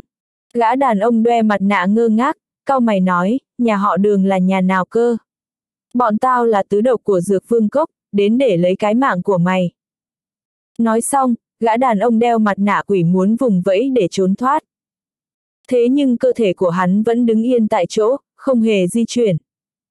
Hóa ra là dược vương cốc, xem ta dược vương cốc vẫn không chịu nghe lọt tai lời cảnh cáo của tôi, nếu đã như vậy thì mấy người cũng không cần thiết phải sống đem nữa. Tiêu chính văn lạnh lùng nói rồi giơ tay lên, con dao trong tay hóa thành luồng sáng đâm xuyên qua ngực của gã đàn ông đeo mặt nạ quỷ. Đâm thủng từ trước ra sau, máu văng tung tóe. chương 912, giết tứ độc. Ngay sau đó, một tiếng cộp vang lên. Người đàn ông đeo mặt nạ ma quỷ ngã vào trong vũng máu, mắt trợn tròn, sắc mặt dần tím tái nhợt nhạt. Mạch máu toàn thân đều trở nên đen ngòm. Thấy thế, ánh mắt tiêu chính văn lóe lên vẻ lạnh lùng nghiêm nghị. Chất độc này mạnh quá. Hoàn toàn không có cơ hội kháng cự nào, bị chúng độc là chết ngay trong tức khắc. Khương Vi Nhan đứng bên cạnh tiêu chính văn nhìn thấy cảnh tượng này cũng không khỏi che miệng, rất hoảng sợ trợn to hai mắt. Tình trạng chết của người này quá khủng khiếp. Lúc này ở phía xa xa, nhìn thấy đại ca mạnh nhất trong đám bị tiêu chính văn giết chết, ba tên này vẫn chưa ra tay, cũng không còn hung hãn như lúc nãy nữa. Không ổn, hắn là cường giả thiên vương, chúng ta không có cơ hội thắng đâu. Chạy mau! Một tên trong đó hô lên, sau đó xoay người bỏ chạy. Hai người khác cũng không có nhiều thời gian suy nghĩ, xoay người chạy theo hai hướng khác nhau. Hừ! Tiêu chính văn lạnh lùng hừ một tiếng, nói, nếu đã đến rồi thì ở lại hết đi. Vừa dứt lời, bóng người tiêu chính văn đã lao đến. Sát khí trên người tiêu chính văn tỏa ra ngùn ngụt khiến cả công viên bị bao trùm bởi một trận cuồng phong. ầm, um, con dao quân đội năm cạnh lóe lên ánh sáng chói mắt phóng thẳng vào lưng một kẻ đang tháo chạy. Con dao quân đội năm cạnh đâm xuyên vào cơ thể hắn, máu bắn ra tung tóe. Lúc này tiêu chính văn đã đuổi kịp đến phía sau một kẻ khác, anh giơ tay lên muốn túm lấy cổ hắn. Nhưng kẻ đó xoay người lại, hắt một nắm bột thuốc màu đỏ lên người tiêu chính văn. Chất độc cực mạnh. Dường như chỉ trong tích tắc, tiêu chính văn phản ứng lại làm động tác đề phòng, anh lùi về sau mấy bước, đồng thời hơn 10 cây kim châm trong tay phóng ra xuyên qua lớp bột thuốc màu đỏ đâm vào sau lưng người kia. Bịch! Người đã ngã xuống đất, cả người tê liệt không thể động đậy. Tiêu chính văn cũng không thèm liếc nhìn người đó, anh xoay người đuổi theo kẻ còn lại. Tên cuối cùng này chạy trốn rất giỏi, bản lĩnh cực kỳ nhạy bén. Tiêu chính văn cao mày, giơ tay lên bắt lấy một cột cờ trên quảng trường rồi kéo nó lên khỏi mặt đất, sau đó anh phóng cột cờ trong dài mười mấy mét trong tay về phía hắn như đang phóng lao. Dầm! Trong thoáng chốc, sức công phá và lực sát thương cực lớn của cột cờ lao thẳng về phía người đó như sao băng, sau đó cắm lên bức tường. Bức tường cũng lập tức nứt ra, sau đó đổ sụp. Phía sau bức tường lúc này là hội trường của bữa tiệc thương nghiệp, mọi người ca hát nhảy múa rất vui vẻ. Bọn họ đều trợn to mắt nhìn chằm chằm vào bóng người bị găm trên bức tường. Người đó chết trong tình trạng rất thê thảm. Cả người đều bị cột cờ dài mười mấy mét đâm xuyên qua, bê bết máu, hai mắt trợn trừng, chết không nhắm mắt. Cả hội trường lặng ngắt như tờ, không ai dám lên tiếng. Ai mà ngờ được, đột nhiên lại xảy ra chuyện như thế chứ.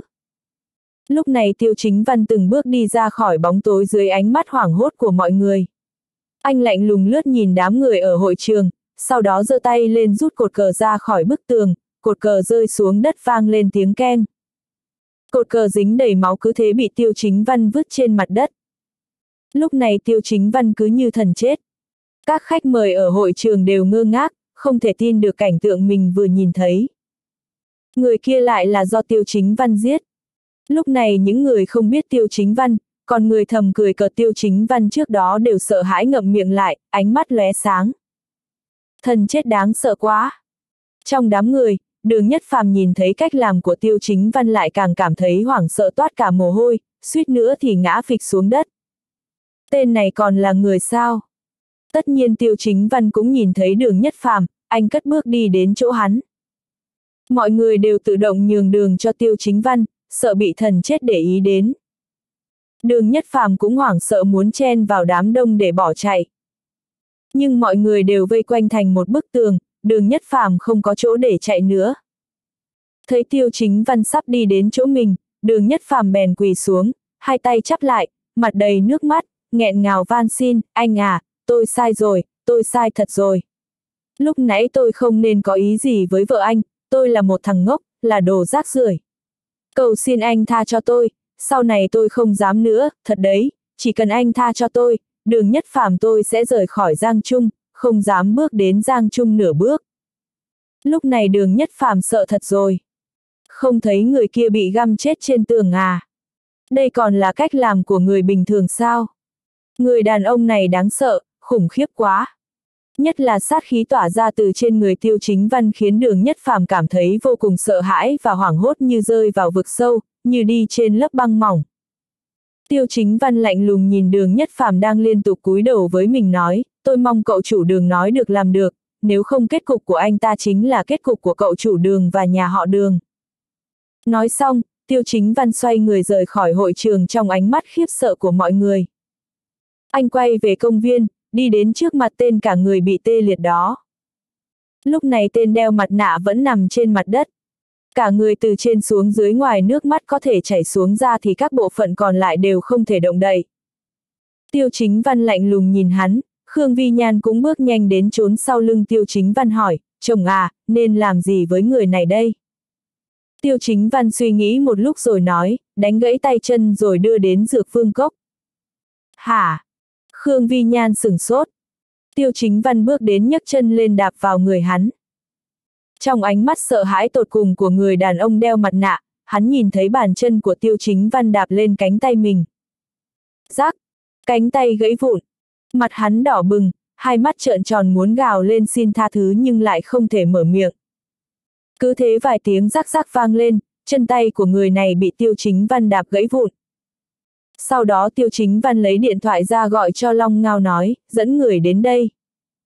Không lâu sau, Long Ngao đến hiện trường, nhìn thấy cảnh này anh ta không khỏi nhướng mày, sau đó nhanh chóng đến trước mặt tiêu chính văn, hỏi, Long Vương, xảy ra chuyện gì thế? Tiêu chính văn lạnh lùng nói, mấy tên sát thủ dùng độc, cậu đưa thi thể của hắn đến dược phương cốc. Do người của dược phương cốc làm sao, Long Vương, tôi dẫn người đến hủy diệt dược phương cốc. Long Ngao tức giận nói. Tiêu chính văn lắc đầu nói, dược phương cốc không đơn giản như thế, tạm thời vẫn không thể động vào dược phương cốc, cứ làm theo lời tôi đi. Dứt lời, tiêu chính văn ngồi xổm xuống lấy một cái bình nhỏ trong ngực người đàn ông đeo mặt nạ đã bị ngất ra. Anh nhìn lướt qua, sau đó mở nắp bình ra ngửi. Chính là loại độc này. Tiêu chính văn vứt bình nhỏ cho Long Ngao nói, trước khi đưa đến dược vương cốc thì rác thuốc độc này lên người hắn. Long Ngao nhận lấy bình nhỏ hiểu ý tiêu chính văn, vâng. Gậy ông đập lưng ông. Đây chính là cách nghĩ của tiêu chính văn. chương 913, chi nhanh điện thần Long bị hủy hoại. Sau khi sự việc kết thúc, Tiêu Chính Văn và Khương Vi Nhan trở về biệt thự. Ba ngày sau, Tiêu Chính Văn đang ở biệt thự học nội dung của mấy mảnh giấy cũ trong cuốn Thiên Sơn Thư Lục, đột nhiên Long Ngao đến bên cạnh, sắc mặt nghiêm trọng, Long Vương, xảy ra chuyện rồi. Tiêu Chính Văn nhíu mày, cất mảnh giấy cũ vào, hỏi chuyện gì? Một chi nhánh ở Mễ Quốc của Điện Thần Long của chúng ta bị người của Điện Tà Thánh tiêu diệt rồi, đã chết hơn 100 anh em. Lúc Long Ngao nói câu này, gương mặt ngập tràn vẻ giận dữ, chỗ sâu trong hốc mắt cũng ẩn chứa lửa giận ngút trời. Điện tà thánh đã tiêu diệt một chi nhánh của chúng ta sao? Tiêu chính văn nghe vậy lập tức đứng thẳng dậy, mặt đầy vẻ kinh ngạc. Ngay sau đó trên người anh bùng lên sát khí ngập trời. Hay lắm điện tà thánh, vậy mà lại dám ra tay với điện thần long của tôi. Tên Vito kia không muốn sống nữa sao? Tiêu chính văn tức giận quát, ở toàn thế giới đều có chi nhánh của Điện Thần Long. Chỉ riêng ở Mễ Quốc đã có 7 chi nhánh. Long Ngao nói, Long Vương, lần này nơi bị Điện Tà Thánh hủy diệt là bộ phận tình báo thứ năm của chúng ta. Điện Tà Thánh đã điều động ba cường giả cấp bậc chủ soái, thực thi tập kích chúng ta. Rồi sao nữa? Tiêu chính văn nhíu chặt mày, sát khí lạnh lùng trên người càng nồng đậm. Ngoài ra, sau khi làm xong, Vito còn cảnh cáo chi nhánh khác của chúng ta, muốn chúng ta nội trong ba ngày rút lui toàn bộ khỏi mễ quốc, nhường địa bàn cho bọn họ. Nếu không, hắn sẽ tắm máu sáu chi nhánh khác của chúng ta. Long Ngao rất tức giận nói. Nghe đến đây, tiêu chính văn đã vô cùng căm phẫn. Ha ha, hay cho một tên Vito, dám uy hiếp tôi sao? Long Ngao, lập tức xuất phát đến Mễ Quốc. Điện tà thánh tiêu diệt một chi nhánh của tôi, bản vương sẽ tàn sát cả thành của hắn. Tiêu chính văn gầm lên giận dữ, lửa giận trong mắt đã không thể kiềm chế được nữa. Điện tà thánh thuộc một trong 12 thánh điện của phương Tây. Trong 12 thánh điện ở phương Tây, bọn chúng nổi tiếng với ám sát và buôn lậu. Hơn nữa, còn buôn bán lượng lớn thuốc cấm. Người của điện tà thánh về cơ bản đều là kẻ lưu vong, không chuyện ác nào không làm trên toàn thế giới đều là những bọn ác ôn giết người không chớp mắt. Hơn nữa, Vito của điện tà thánh này cũng là một kẻ hèn hạ vô cùng nham hiểm. Mấy năm trước tiêu chính văn từng đánh nhau với hắn, thực lực của hắn đang ở cảnh giới năm sao. Có điều, theo tình báo trước mắt, rất có thể Vito này đã đột phá đến cảnh giới bán bộ thiên vương rồi. Chiều hôm đó, sau khi tiêu chính văn từ biệt Khương Vi Nhan, anh và Long Ngao ngồi máy bay đến thành phố Xanh Tần của Mễ Quốc. Ở đây có một chi nhánh của Điện Thần Long, cũng là bộ phận chiến đấu. Lúc này sâu trong rừng rậm nào đó của thành phố Xanh Tần, có một căn cứ quân sự chiếm đóng. Nếu không có sự chỉ dẫn chuyên gia thì bất cứ ai cũng không thể tìm đến đây. Lúc này, một chiếc xe jeep lao nhanh, xuyên qua rừng cây, đến lối vào của căn cứ quân sự. Xe vừa dừng lại, một đoàn đội đặc nhiệm toàn thân cắm đầy cây xanh, mặt tô đầy thuốc màu, nhảy xuống từ trên cây vây quanh quanh xe jeep. Mặt mũi bọn họ đều hung dữ, vác súng chĩa thẳng vào xe jeep. Xuống xe, đội trưởng dẫn đầu, gầm lên một tiếng với hai người trong xe. Lúc này Long Ngao mở cửa xe, Tiêu Chính Văn ngồi trong xe, nhìn những lính đặc nhiệm bên ngoài xe, hiểu ý mỉm cười, cũng không tệ, có tiến bộ hơn trước, nhưng... Nói xong, Tiêu Chính Văn giơ tay, một cây kim châm bắn thẳng ra ngoài, vượt qua mấy trăm mét, xuyên thẳng ống kính của xạ thủ bắn tỉa ẩn núp ở phía sau tảng đá to nào đó. Ống kính vỡ vụn, xạ thủ bắn tỉa kia cũng giật mình. Tiêu chính văn nhảy thẳng xuống từ trong xe cùng với Long Ngao. Lúc này đội trưởng dẫn đội nhìn thấy Long Ngao và Tiêu chính văn, mặt lộ vẻ kinh ngạc, nhanh chóng đứng nghiêm chào, cao giọng hô thuộc hạ chào Long Vương và Long Tôn. Những binh lính còn lại cũng lập tức thu súng đứng nghiêm chào. Xạ thủ bắn tỉa ở phía xa nhìn thấy cảnh tượng này cũng nhanh chóng chạy đến, đứng nghiêm chào điều lệnh.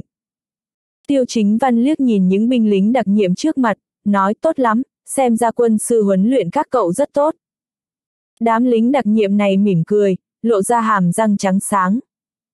Sau đó, Tiêu Chính Văn và Long Ngao theo bọn họ đến căn cứ quân sự bí mật. Ở đây, có gần 100 tiểu đội lính đặc nhiệm, toàn bộ đều sử dụng vũ khí tiên tiến nhất. Lúc này, trong hang núi được xây dựng thành bộ chỉ huy, sắp đặt không ít máy móc quân sự và máy tính tiên tiến. Bốn phía cũng có không ít dương đạn dược. Tiêu chính văn và Long Ngao sải bước đi vào, nhìn thấy một người đàn ông mặc quân phục màu xanh, đang ngồi trước máy tính không ngừng gõ bàn phím, miệng thỉnh thoảng còn chửi phác. Long Ngao bật cười, gọi quân sư. Người đàn ông kia nghe thấy có người gọi mình thì phản xạ có điều kiện, lập tức cầm khẩu súng lục trên bàn lên, xoay người chĩa vào Long Ngao. Nhưng sau khi ông ấy nhìn rõ là Long Ngao, lập tức thu súng lại. Sau đó, ánh mắt đặt lên người tiêu chính văn bên cạnh, hốt hoảng đứng dậy, cúi chào, chào Long Vương. Tiêu chính văn gật đầu, vẫy tay tỏ ý người đàn ông kia không cần cẩn trọng như thế. Sau đó ba người ngồi vào chỗ, có người ở bên cạnh rót ba ly cà phê. Tiêu chính văn liếc nhìn bản đồ cả thành phố xanh tần trên bàn, trong đó có mấy cứ điểm chi nhánh của điện tà thánh mà trước đó quân sư đã đánh dấu. Long Vương, mấy cái này đều là chi nhánh của điện tà thánh ở thành phố Xanh Tần, chúng tôi đã phái người thăm dò rồi. Quân sư chỉ vào mấy chấm đỏ trong đó, giới thiệu, ở đây, là chợ buôn lậu của điện tà thánh, đây là sòng bạc, đây là kho đạn súng ống, còn nơi này là chỗ ở của mấy cao thủ của điện tà thánh. Nếu chúng ta muốn báo thù thì buộc phải nắm bắt được kho đạn súng ống ở đây và nơi ở của mấy cao thủ này.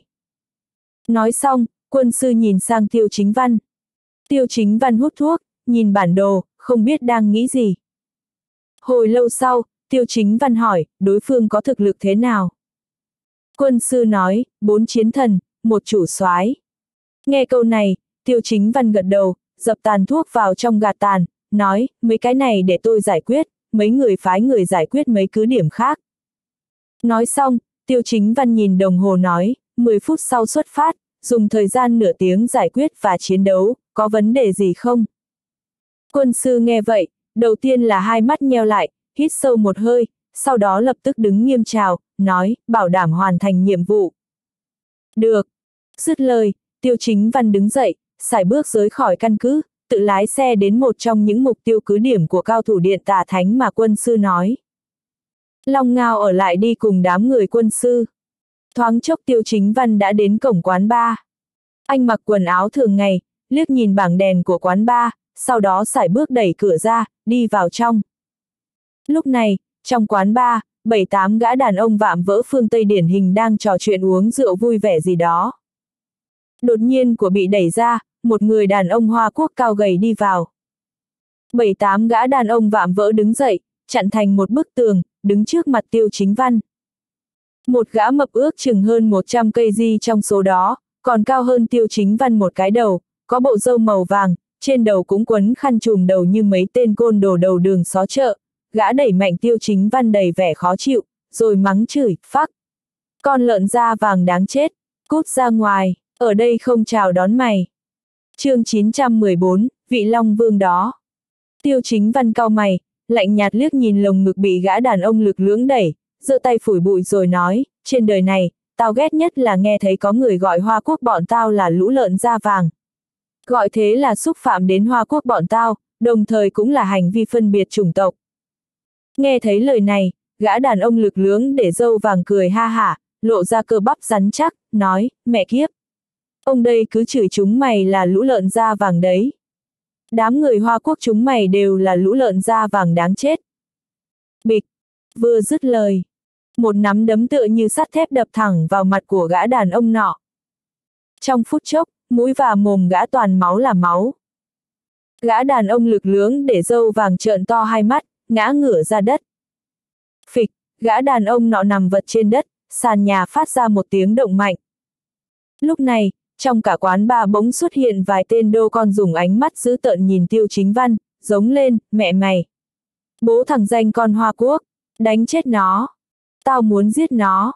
Ngay lập tức, mấy tên đô con vung mạnh nắm đấm về phía tiêu chính văn. Nhưng, tiêu chính văn chỉ lạnh lùng nhếch miệng, tiến lên một bước. Bịch, bịch, bịch, bịch. Chỉ bằng một vài nắm đấm, mấy tên đô con giống y như gã đàn ông lực lưỡng để dâu vàng ban nãy, ngã ngửa trên mặt đất, mặt be bét máu. Một trong số đó còn bay lên cao 2 mét, lúc rơi xuống làm vỡ cả quầy ba, rồi lăn xuống đất, hắn ôm bụng, vẻ mặt đau đớn quằn quại. Tiêu chính văn đút hai tay vào túi quần, tiến lên vài bước, giơ chân dẫm lên khuôn mặt của tên đô con nọ, đạp mạnh xuống sàn. Toàn bộ sàn nhà ngay lập tức bị nứt. Tên đô con cũng cảm thấy đầu mình như sắp nát bét, đau đớn van xin, ôi, đừng dẫm nữa, mau dừng chân, đừng dẫm mà đầu tao sắp nổ luôn rồi, rốt cuộc mày muốn làm gì?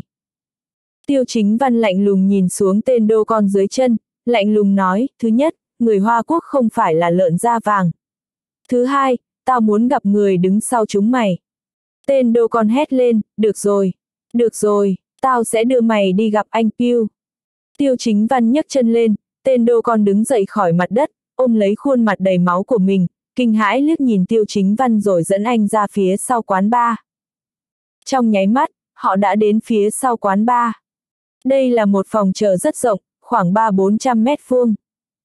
Lúc này, một thanh niên da trắng người mỹ Quốc đang ngồi trên ghế sofa, trong tay ôm một vài cô gái tóc vàng nóng bỏng. Nhìn thấy đàn em bê bết máu bước vào, gã da trắng mỹ Quốc nhướng mày lạnh lùng hỏi, chuyện gì? Tên đô còn ôm mặt vội vàng rời đi, tiêu chính văn bước đến từ sau lưng hắn. Piu nhíu mày nhìn tiêu chính văn đang bước vào, bực mình quát mày là thằng nào. Tiêu chính văn liếc nhìn xung quanh mỉm cười, nói tao là ai không quan trọng, quan trọng là tao đến đây để giết mày. Lời này vừa vang lên, Piu liền bật cười ha hả, bình tĩnh cầm ly rượu trên bàn lên, một hơi uống cạn. Sau đó, hắn giơ tay, mấy cô gái tóc vàng bên cạnh hắn nhanh chóng đứng dậy và rời đi. Chẳng mấy chốc, trong phòng chờ chỉ còn lại Tiêu Chính Văn và Piu. Piu nhìn Tiêu Chính Văn và nói, danh con, mày đang tìm đường chết đấy. Từ xưa đến nay chả có thằng nào dám ở trên địa bàn của Piu tao mà nói muốn giết tao đâu. Tiêu Chính Văn khinh thường nói, ồ, thế à, vậy thì tao là người đầu tiên đấy. Dứt lời, bầu không khí trong toàn bộ phòng chờ chợt biến đổi. Căng thẳng và tĩnh lặng một cách kỳ lạ. Piu ra tay tay trước, hắn đập mạnh ly rượu trên tay, phi về phía tiêu chính văn. Khoảnh khắc ấy, ly rượu không khác nào một viên đạn. Tiêu chính văn nhíu mày, nhìn ly rượu đang bay vào mình, anh hơi nghiêng đầu ra sau, ly rượu đập vào bức tường phía sau, vang lên tiếng vỡ tan. Ngay khi tiêu chính văn quay đầu lại, Piu đã đứng dậy, nhảy khỏi ghế sofa rồi tung một cú đá xoay tròn, định đập vào đầu tiêu chính văn. Piu hết sức tự tin với cú đá này. Bởi vì đây là tuyệt chiêu đã giúp hắn thành danh. Không biết bao nhiêu người đã chết dưới chiêu này của hắn rồi. Lực chân của hắn đủ để đá một con bò thịt nát xương tan. Hừ, thằng Hoa Quốc chết tiệt, đi chết đi. Piu cười đầy khinh thường, ánh mắt tự tin. Nhưng, Piu phát hiện tiêu chính văn không nhúc nhích, mà đứng yên nhìn hắn tung cú đá này. Trong mắt Piu, chắc chắn là tiêu chính văn không phản ứng kịp. Bởi vậy, chỉ có một cái kết cho anh, chính là bị hắn đá chết. Nào ngờ. Trong giây tiếp theo, một cảnh tượng đáng kinh ngạc đã xảy ra. Tiêu chính văn chỉ thản nhiên giơ cánh tay của mình lên, bịch một tiếng, cú đá của Piu đá trúng vào cánh tay của tiêu chính văn nhưng lại không gây ra bất kỳ thương tích nào. Thậm chí cánh tay của tiêu chính văn còn không run lên. Piu sửng sốt, trợn tròn mắt, trong mắt hiện lên vẻ kinh ngạc. Sao có thể thế được? Thực lực của tên này mạnh đến mức nào chứ? Piu giật mình, ngay lập tức muốn lùi về sau. Nhưng, dưới ánh nhìn của hắn, tiêu chính văn nhếch mép cười lạnh lùng. Ngay sau đó, anh bắt đầu tung đòn, siết chặt mắt cá chân của Piu, rồi hất mạnh tay, đánh bay Piu như một cây gậy hình người. Bịch! Piu ngã mạnh xuống ghế sofa, hất cả ghế sofa ra mấy mét rồi lăn ra đất, hắn ôm chặt lấy lưng, vẻ mặt đầy đau đớn. Piu nhanh chóng đứng dậy từ trên mặt đất, kinh hãi nhìn chằm chằm tiêu chính văn, lạnh lùng hỏi, mày là ai? Sức mạnh của mày là thế nào? Tiêu chính văn hờ hững hất tay, đi về phía Piu lúc này đang cực kỳ căng thẳng, nở nụ cười, tao nói rồi mà, tao tới đây giết mày. Nghe thấy lời này, Piu nhíu chặt mày, cả người vội nhảy lên, muốn lấy khẩu súng lục từ trong ngăn kéo ra. Nhưng, tiêu chính văn dường như đã đoán được hắn định làm gì, anh vung tay, con dao quân đội năm cạnh lóe lên tia sáng lạnh phóng đi. Phịch, con dao quân đội năm cạnh ghim luôn bàn tay của Piu vào bàn cà phê. Trong phút chốc, máu bắn tung tóe. Piu kêu lên đầy thảm thiết, nhìn bàn tay đầy máu của mình bị đóng vào bàn cà phê. Sau đó, dưới ánh mắt kinh hãi của Piu, Tiêu Chính Văn bước tới, từ trên cao nhìn xuống hắn, hỏi, những người khác đâu? Piu hét lên, tao không hiểu mày đang nói cái gì.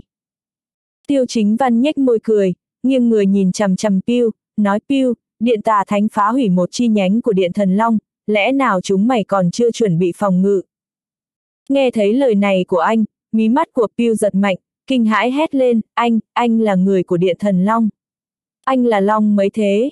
Tại sao tôi chưa từng nhìn thấy anh? Tiêu chính văn đứng thẳng người, diễu cợt nói, mày nghĩ tao là long mấy? Piu cao mày, nhìn nụ cười kỳ quái của tiêu chính văn, nói chẳng lẽ anh là vị long tôn nào đó? Chắc chắn là long tôn rồi. Bằng không, anh không thể nào đánh gục hắn một cách dễ dàng như vậy. Vì bản thân hắn là cường giả cấp chiến thần. Long tôn. Tiêu chính văn bật cười, cho dù là long tôn trong miệng mày khi nhìn thấy tao cũng phải cúi đầu. Trời đất! Ngay khi câu nói này vang lên, đầu của Piu như muốn nổ tung. Cho dù là long tôn nhìn thấy anh cũng phải cúi đầu sao. Vậy chẳng phải anh ta là Long Vương của Điện Thần Long à? chương 915, thiên tử bị thương nặng. Âm. Um, Piu ngây người khi cái suy nghĩ này cứ hiện lên trong đầu hắn. Long Vương của Điện Thần Long. Đó là người siêu phàm trong tứ đại Long Tôn. Là sự tồn tại tối cao. Là sự tồn tại mà cả 12 thánh điện ở phương Tây đều phải đau đầu. Bởi vì Điện Thần Long không ở trong 12 thánh điện phương Tây, nhưng lại có thể so sánh với 12 thánh điện phương Tây. Là người bị hội đồng đánh giá là thánh điện thứ 13. Mà Long Vương của Điện Thần Long cũng chính là người bí ẩn nhất. Cả phương Tây đều biết thực lực mạnh mẽ của Long Vương, không thể chọc vào anh. Nhưng lại không biết sốt cuộc anh mạnh ở đâu. Thậm chí ngay cả điện chủ của 12 thánh điện cũng không dám chọc vào vị Long Vương này. Bây giờ vị Long Vương này lại đứng ngay trước mặt, sao có thể không khiến Piu sợ hãi và kinh hãi được đây? Đó là cường giả vô địch có thể so sánh với Minh Vương và Z Tiêu. Nếu anh ta muốn giết mình hoặc phá hủy chi nhánh này của mình thì chỉ cần một cái nhấc tay thôi. Ngay lập tức, Piu quỳ dạp xuống, cả người dính sát xuống đất không hề để ý đến bàn tay mình đang bị cắm trên bàn trà, máu chảy ròng ròng. Hắn sợ hãi, run rẩy nói, Long, Long Vương, tha mạng, tôi thật sự không biết anh là Long Vương tôn quý, cầu xin anh dơ cao đánh khẽ, tha cho tôi. Tiêu chính văn nhướng mày nhìn Piu liên tục cúi đầu nói, ngại quá, điện thần long của tôi có hơn 100 anh em bị điện tà thánh giết, thù này không thể tha thứ. Piu đảo mắt, sau đó rút một con dao găm từ trong ngực ra rồi đâm mạnh về phía tiêu chính văn, hét lên, chết đi. Piu biết mình không thể sống nữa. Thế nên hắn phải tranh thủ để giành sự sống. Nhưng con dao găm này lại không hề đâm trúng vào tiêu chính văn. Tiêu chính văn chỉ nhướng mày, lạnh lùng nhìn Piu. Ngay khoảnh khắc đó, con dao găm trong tay Piu không thể nào đâm về phía trước. Sau đó hắn hoảng hốt nhìn thấy tiêu chính văn giơ tay lên rút con dao quân đội năm cạnh ra từ trên bàn trà rồi chém xoẹt qua cổ hắn. Máu văng ra tung tóe. Piu trợn to mắt đầu đập lên bàn trà. Máu theo bàn trà chảy xuống mặt đất. Tiêu chính văn dửng dưng nhìn thi thể Piu, sau đó xoay người cất bước đi ra ngoài. Ra tới cửa, anh gặp lại tên đô con lúc nãy đã dẫn đường cho anh. Lúc này tên đô con đã nhìn thấy cảnh Piu chết thảm, ngay lập tức gã quỳ xuống dập đầu nói với Tiêu Chính Văn, cầu xin đại ca tha mạng, xin đại ca tha mạng. Tiêu Chính Văn lạnh lùng nhìn gã hỏi, những người khác đâu? Tên đô con vội vã lau mồ hôi trên trán nói, những người khác đều đã về trụ sở chính rồi, các chi nhánh ở thành phố Xanh Tần này chỉ còn lại một mình anh Piu. Nghe thấy thế, Tiêu Chính Văn gật đầu rồi sải bước đi khỏi đó. Tên đô con thấy Tiêu Chính Văn đi xa mới thở phào nhẹ nhõm định đứng dậy. Nhưng, hắn vừa đứng dậy thì một con dao quân đội năm cạnh xé tan không khí phát ra tiếng kim loại chói tai lướt qua cổ hắn. Tên đô con ngã vào vũng máu. Tiêu chính văn ra khỏi quán bar, cùng lúc đó nhận được điện thoại của Long Ngao. Long Vương, mấy cứ điểm của điện tà thánh đã bị chúng tôi xử lý sạch sẽ rồi, Long Ngao nói. Tiêu chính văn gật đầu tốt, rút lui đi. Cậu nói với mấy người bên quân sư tăng cường thêm phòng vệ, loại người phải báo thù từ những cái nhỏ nhất như Vito chắc chắn sẽ đánh lén chúng ta. Vâng. Long ngao đáp. Tiêu chính văn cúp máy rồi cũng nhanh chóng quay về căn cứ. Quân sư và Long ngao đã đợi anh ở trước cửa. Long vương. Hai người kính cẩn cúi chào. Tiêu chính văn gật đầu bước vào căn cứ, nói với quân sư bên cạnh, có ai bị thương vong gì không? Quân sư cười nói, Long Vương yên tâm, đối phó với lũ tôm tép này chỉ là chuyện nhỏ. Tiêu chính văn gật đầu bước vào phòng chỉ huy, bàn bạc bước tiếp theo với Long Ngao và quân sư. Cùng lúc đó, trong một sơn trang xa hoa nào đó ở thành phố Xanh Tần. Căn biệt thự màu trắng được thiết kế theo kiểu lâu đài trông rất hoành tráng và khá lớn. Căn biệt thự lâu đài này được xây dựng trên vách đá bên bờ biển, có thể nhìn bao quát cả bờ biển. Gần đó cũng có rừng cây rậm rạp, Lúc này trong sảnh chính của biệt thự, một người đàn ông mặc bộ đồ ngủ màu đen, dáng người rất phạm vỡ, nước da màu đồng nhưng lại là người phương Tây điển hình, tóc rất ngắn trông cực kỳ lão luyện. Đôi mắt đen sâu thẳm hiện lên màu sắc u ám. Sống mũi hắn cao như mũi diều hâu. Lúc này hắn cầm chai rượu whisky trong tay, ngồi trên ghế đá màu đen tuyền được khảm vô số bảo thạch và kim cương. Bên dưới có mấy chục nam nữ người phương Tây, sắc mặt và tuổi tác không giống nhau đang lẳng lặng đợi điều gì đó.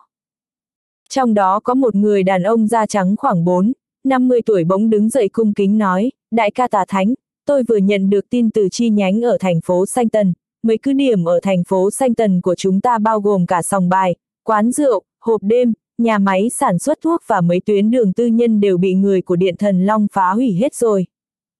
Lúc nói, người đàn ông trung niên da trắng đó cực kỳ phẫn nộ. Vì ông ta là người đại diện cho Điện Tà Thánh ở thành phố Sanh Tần. Cứ điểm ở thành phố Sanh Tần bị Điện Thần Long đánh phá thì ông ta cũng có trách nhiệm. Lúc này Vito ngồi trên ghế đá, cầm chai rượu uống một hớp, ánh mắt sắc bén nhìn chằm chằm vào người đàn ông trung niên da trắng bên dưới đó cười khẩy. Sau đó hắn đứng dậy từng bước đi đến trước mặt người đàn ông trung niên da trắng, vỗ vai ông ta nói, Lê Can, chuyện này không liên quan đến ông, ngồi đi. Người đàn ông da trắng tên Lê Can cũng kính cẩn, khiêm nhường cúi người xuống. Cảm ơn đại ca tà thánh, Lê Can thở phào định ngồi xuống. Nhưng, dầm, Vito bỗng đạp một chân về phía sau đá vào ngực Lê Can khiến ông ta và cả cái ghế văng ra cách đó mười mấy mét, đập người vào cái cột đá màu trắng ở một bên. Cột đá bỗng nứt ra, đổ cả một lớp xi măng ra ngoài. Ngực của Lê Can bị lõm vào trong, phun ra mấy búng máu lẫn cả nội tạng, sau đó ngã xuống vũng máu chết ngay tại chỗ. Nhìn thấy cảnh tượng này, những người ngồi xung quanh đều rất bình tĩnh như thể đã quen với chuyện như thế rồi. Đây là quy tắc của Điện Tà Thánh. Trách nhiệm của ai thì người đó lấy mạng mà đền. Sau đó Vito nhìn những thuộc hạ xung quanh, lạnh lùng nói, Điện Thần Long phá hủy chi nhánh của tôi, các người có ai sẵn sàng chia sẻ lo lắng với tôi đến phá hủy chi nhánh của Điện Thần Long của thành phố xanh Tần hay không? Mọi người đều im lặng không nói. Nhưng ngay sau đó, một người đàn ông da trắng có dáng người cao lớn đứng dậy nói, đại ca tà thánh, ba lốt tôi sẵn sàng nhận nhiệm vụ này. Phi tôi nhìn ba lốt mỉm cười, vỗ vai gã nói, tốt, tốt lắm.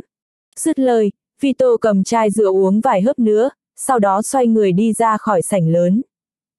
Ba lốt cũng dẫn theo đàn em tài giỏi của mình cấp tốc tập trung hơn 500 người trang bị đầy đủ hết mọi thứ rồi đi đến chi nhánh của Điện Thần Long ở thành phố Sanh Tần. Cùng lúc đó Tiêu Chính Văn đã bàn xong kế hoạch tiếp theo với quân sư và Long Ngao. Đánh đòn phủ đầu. Người của Điện Thần Long rút khỏi chi nhánh, chủ động tấn công, tìm kiếm các chi nhánh và cứ điểm khác của Điện Tà Thánh ở Mễ Quốc sau đó thực hiện các hành động ám sát. Đương nhiên kế hoạch này phải để Long Ngao đi làm, còn Tiêu Chính Văn thì quay về Giang Trung. Dù sao chuyện này cũng không thuộc quyền quản lý của anh. Chỉ cần Vito không ra tay thì đấy chính là cuộc so tài của đám thuộc hạ. Quay về Giang Trung, Tiêu Chính Văn nhận được điện thoại của Tần Hán Quốc nói là thiên thủ bị thương nặng, gọi anh về gấp. chương 916, Long Kính. Thiên tử bị thương nặng ư. Sao có thể như vậy? Xảy ra chuyện gì rồi? Ai làm thiên tử bị thương? Tiêu Chính Văn nghe thấy chuyện này thì cũng vô cùng kinh ngạc. Long Kinh. Thiên tử các. Một nơi quan trọng như vậy luôn được bảo vệ nghiêm ngặt nhất cả Hoa Quốc. Huống hồ bên cạnh thiên tử còn có ông Long, hộ Long kỵ và rất nhiều cao thủ bảo vệ. Ai có thể làm cho thiên tử bị thương chứ? Đầu dây bên kia, Tần Hán Quốc cũng rất sốt ruột, nói chúng tôi cũng không biết tình hình cụ thể ra sao, thiên tử nói rồi, ông ấy buộc phải gặp cậu. Có một số chuyện ông ý chỉ có thể nói cho một mình cậu mà thôi. Cậu lập tức lên đường trở về Long Kinh ngay đi. Ngoài ra, 300.000 quân phá Long Bắc Lương cũng phải bí mật điều về Long Kinh ngay trong ngày hôm nay, canh giữ bên ngoài bốn cổng Long Kinh, thực thi nhiệm vụ bí mật bảo vệ Long Kinh. Việc lần này xảy ra rất đột ngột, cũng rất kỳ lạ. Rất có khả năng là thế lực ở nơi nào đó đang đối đầu với Hoa Quốc của chúng ta. Tiêu chính văn, đại chiến sắp sửa bắt đầu. Hoa Quốc lâm nguy rồi đây. Tần Hán Quốc nói xong mấy câu này, sắc mặt vô cùng lo lắng và nghiêm trọng. Tiêu chính văn cũng đã hiểu, gật đầu đáp lời, tôi sẽ lên đường ngay. Nói xong, anh cúp điện thoại, vừa mới trở về, vẫn chưa gặp được Khương Vi Nhan thì lại phải rời khỏi Giang Trung thêm lần nữa.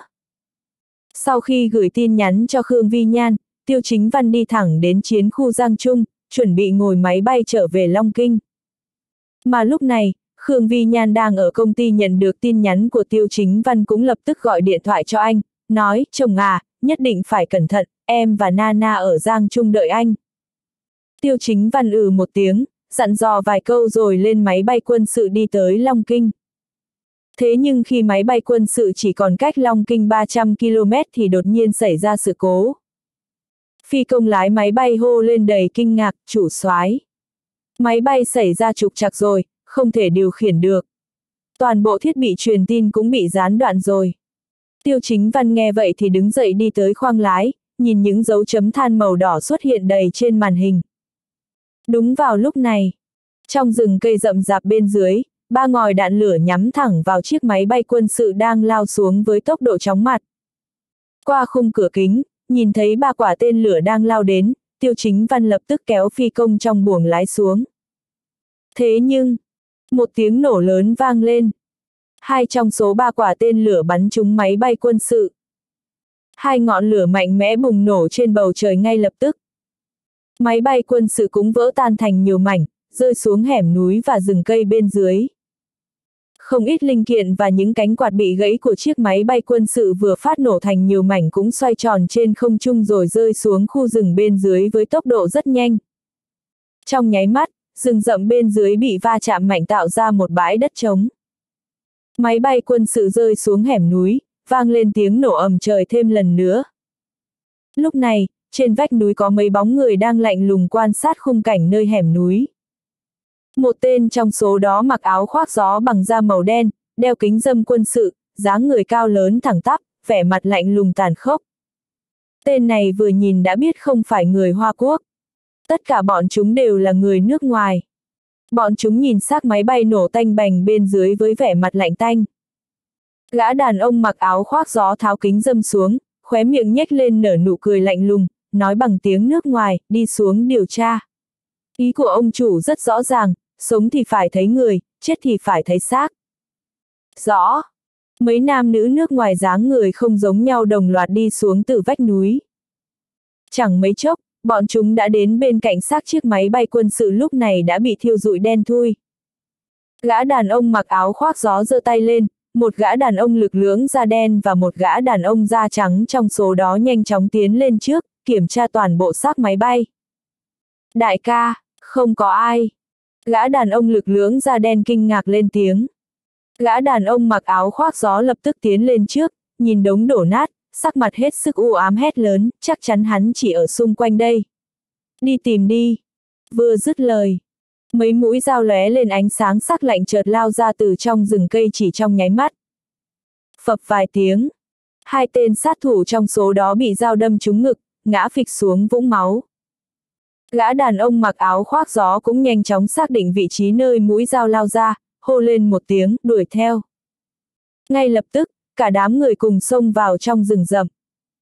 Lúc này tiêu chính văn giấu tạm phi công cả người đầy máu vào trong bụi cây gần đó, nói kiên trì thêm một chút, tôi sẽ tìm người tới cứu cậu.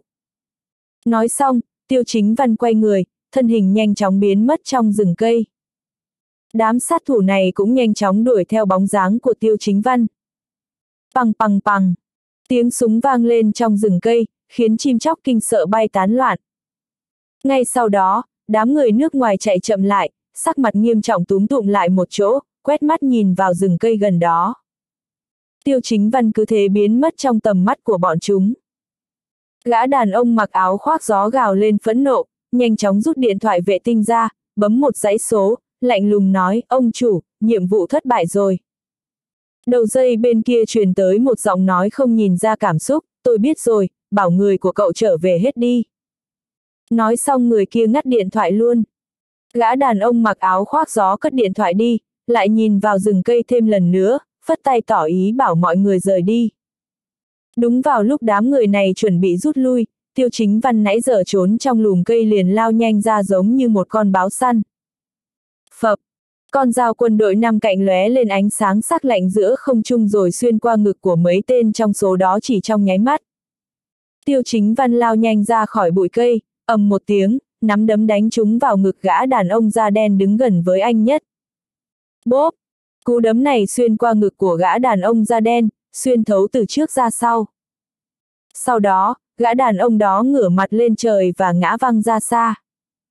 Tiêu chính văn nhanh tay rút lấy khẩu súng lục bên hông gã đàn ông đó, chĩa về phía mấy tên còn lại rồi bóp cò liên tục. Păng păng păng, tiếng súng nổ vang trời. Chỉ trong thoáng chốc, đám sát thủ này chỉ còn lại duy nhất gã đàn ông mặc áo khoác gió. Hắn rút súng ra từ bên hông muốn bắn chết tiêu chính văn. Thế nhưng tiêu chính văn lập tức xông đến, bắt lấy cổ tay của đối phương, rắc một tiếng, anh vặn gãy cổ tay của hắn ta, đồng thời cũng giơ chân đạp lên trên bụng hắn, bụp một tiếng, gã đàn ông mặc áo khoác gió nôn ra máu, ngã trên mặt đất. Phập. Ngay sau đó, tiêu chính văn giơ chân đạp lên trên ngực gã đàn ông mặc áo khoác gió, liếc mắt từ trên cao nhìn xuống đối phương, lạnh lùng hỏi, người của thế lực nào? Anh hỏi như vậy là bởi vì trang bị của đối phương không phải của tổ chức nhỏ, cũng không phải sát thủ bình thường.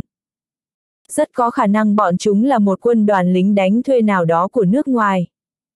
Gã đàn ông mặc áo khoác gió nhìn tiêu chính văn đang ngập tràn vẻ hung bạo và sát khí, cười lạnh lùng nói, chúng tôi làm cái nghề này, tuyệt đối sẽ không bán đứng chủ thuê. Nói xong, gã đàn ông mặc áo khoác gió giơ tay còn lại ra, dùng dao tự cắt đứt cổ họng mình. Tiêu chính văn nhìn gã đàn ông mặc áo khoác gió nằm trên vũng máu, sắc mặt vô cùng giá lạnh.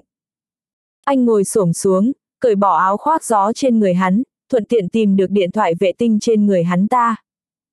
Sau đó, Tiêu Chính Văn dùng điện thoại chụp lại toàn bộ gương mặt của đám người này rồi gửi cho cơ quan tình báo của Điện Thần Long. Lập tức điều tra thân phận của mấy người này, tìm ra tổ chức thế lực đứng phía sau. Tiêu Chính Văn hạ lệnh khẩn cấp.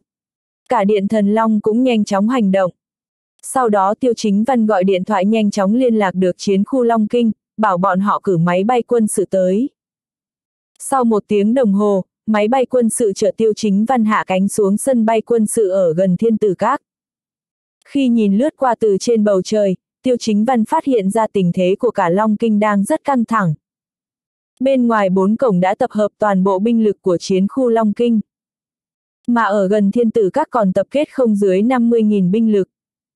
Thậm chí, hộ Long Kỵ cũng đã được điều động, làm nhiệm vụ bảo vệ cho cả thiên tử các. Từ đó có thể thấy cục diện của Long Kinh hoàn toàn khác với lúc bình thường. chương 917, hổ soái bảy sao.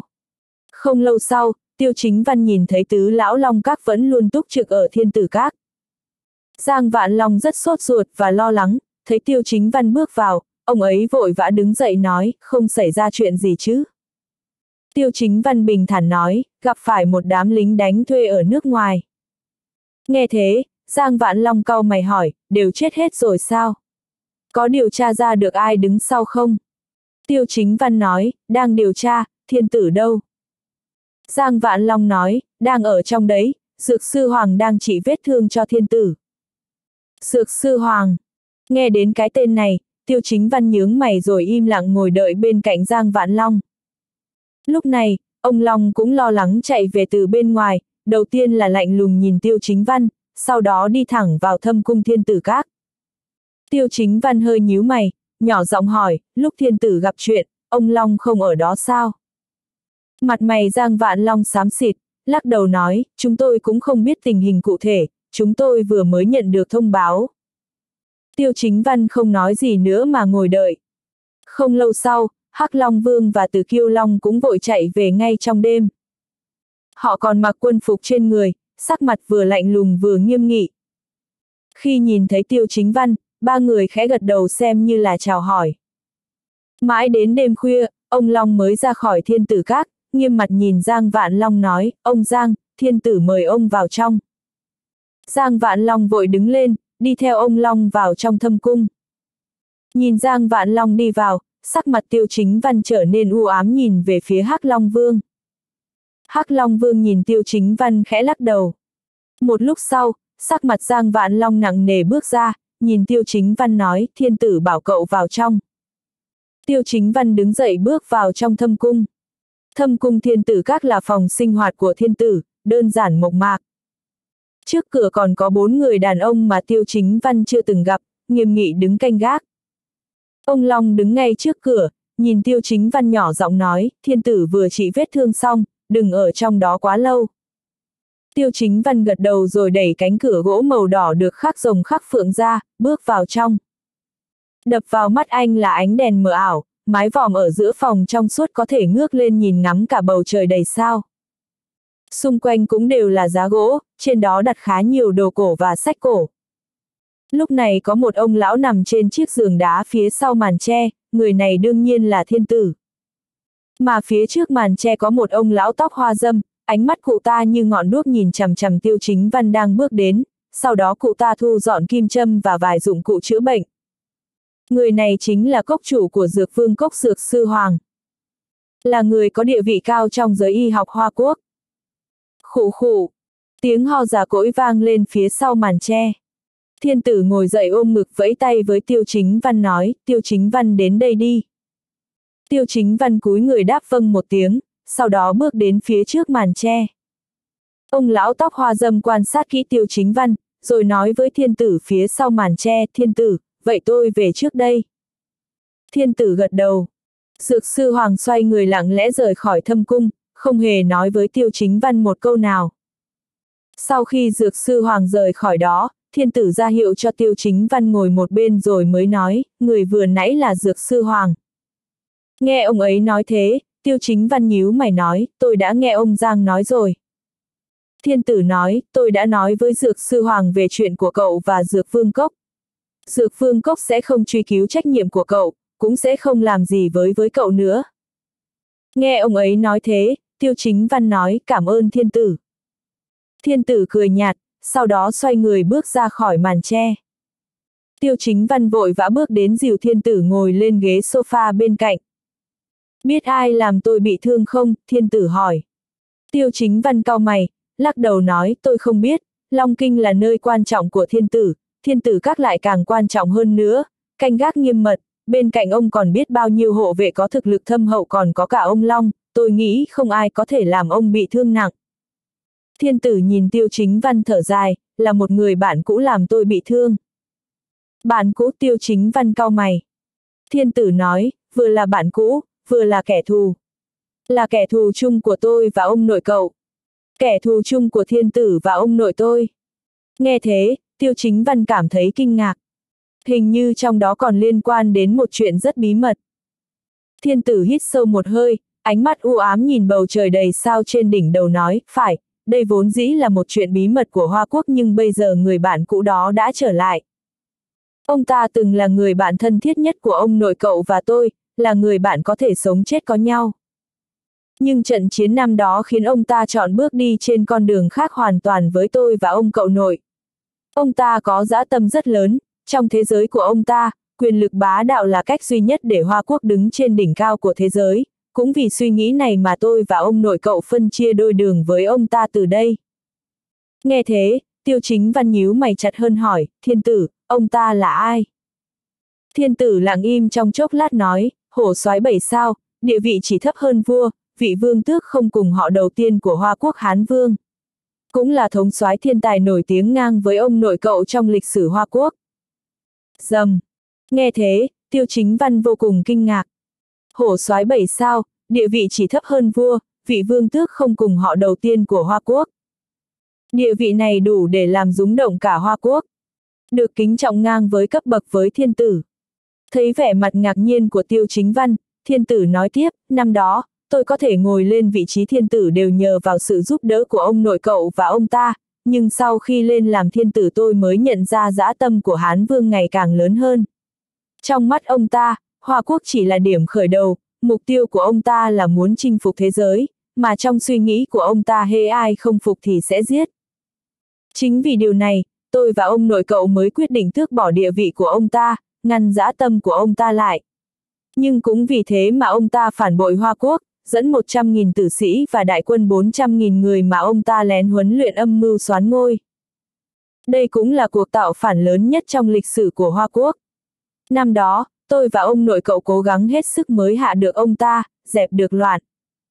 Nói đến đây, thiên tử dừng lại một lúc, ông ấy đứng dậy lấy một tập hồ sơ tuyệt mật được niêm phong trên giá sách ra rồi đưa cho tiêu chính văn nói, tôi cứ nghĩ ông ta đã chết trong trận chiến đó nhưng không ngờ ông ta vẫn còn sống, hơn nữa còn sống tốt hơn thế, thậm chí đã lập nên thế lực riêng của ông ta ở khắp mọi nơi trên thế giới.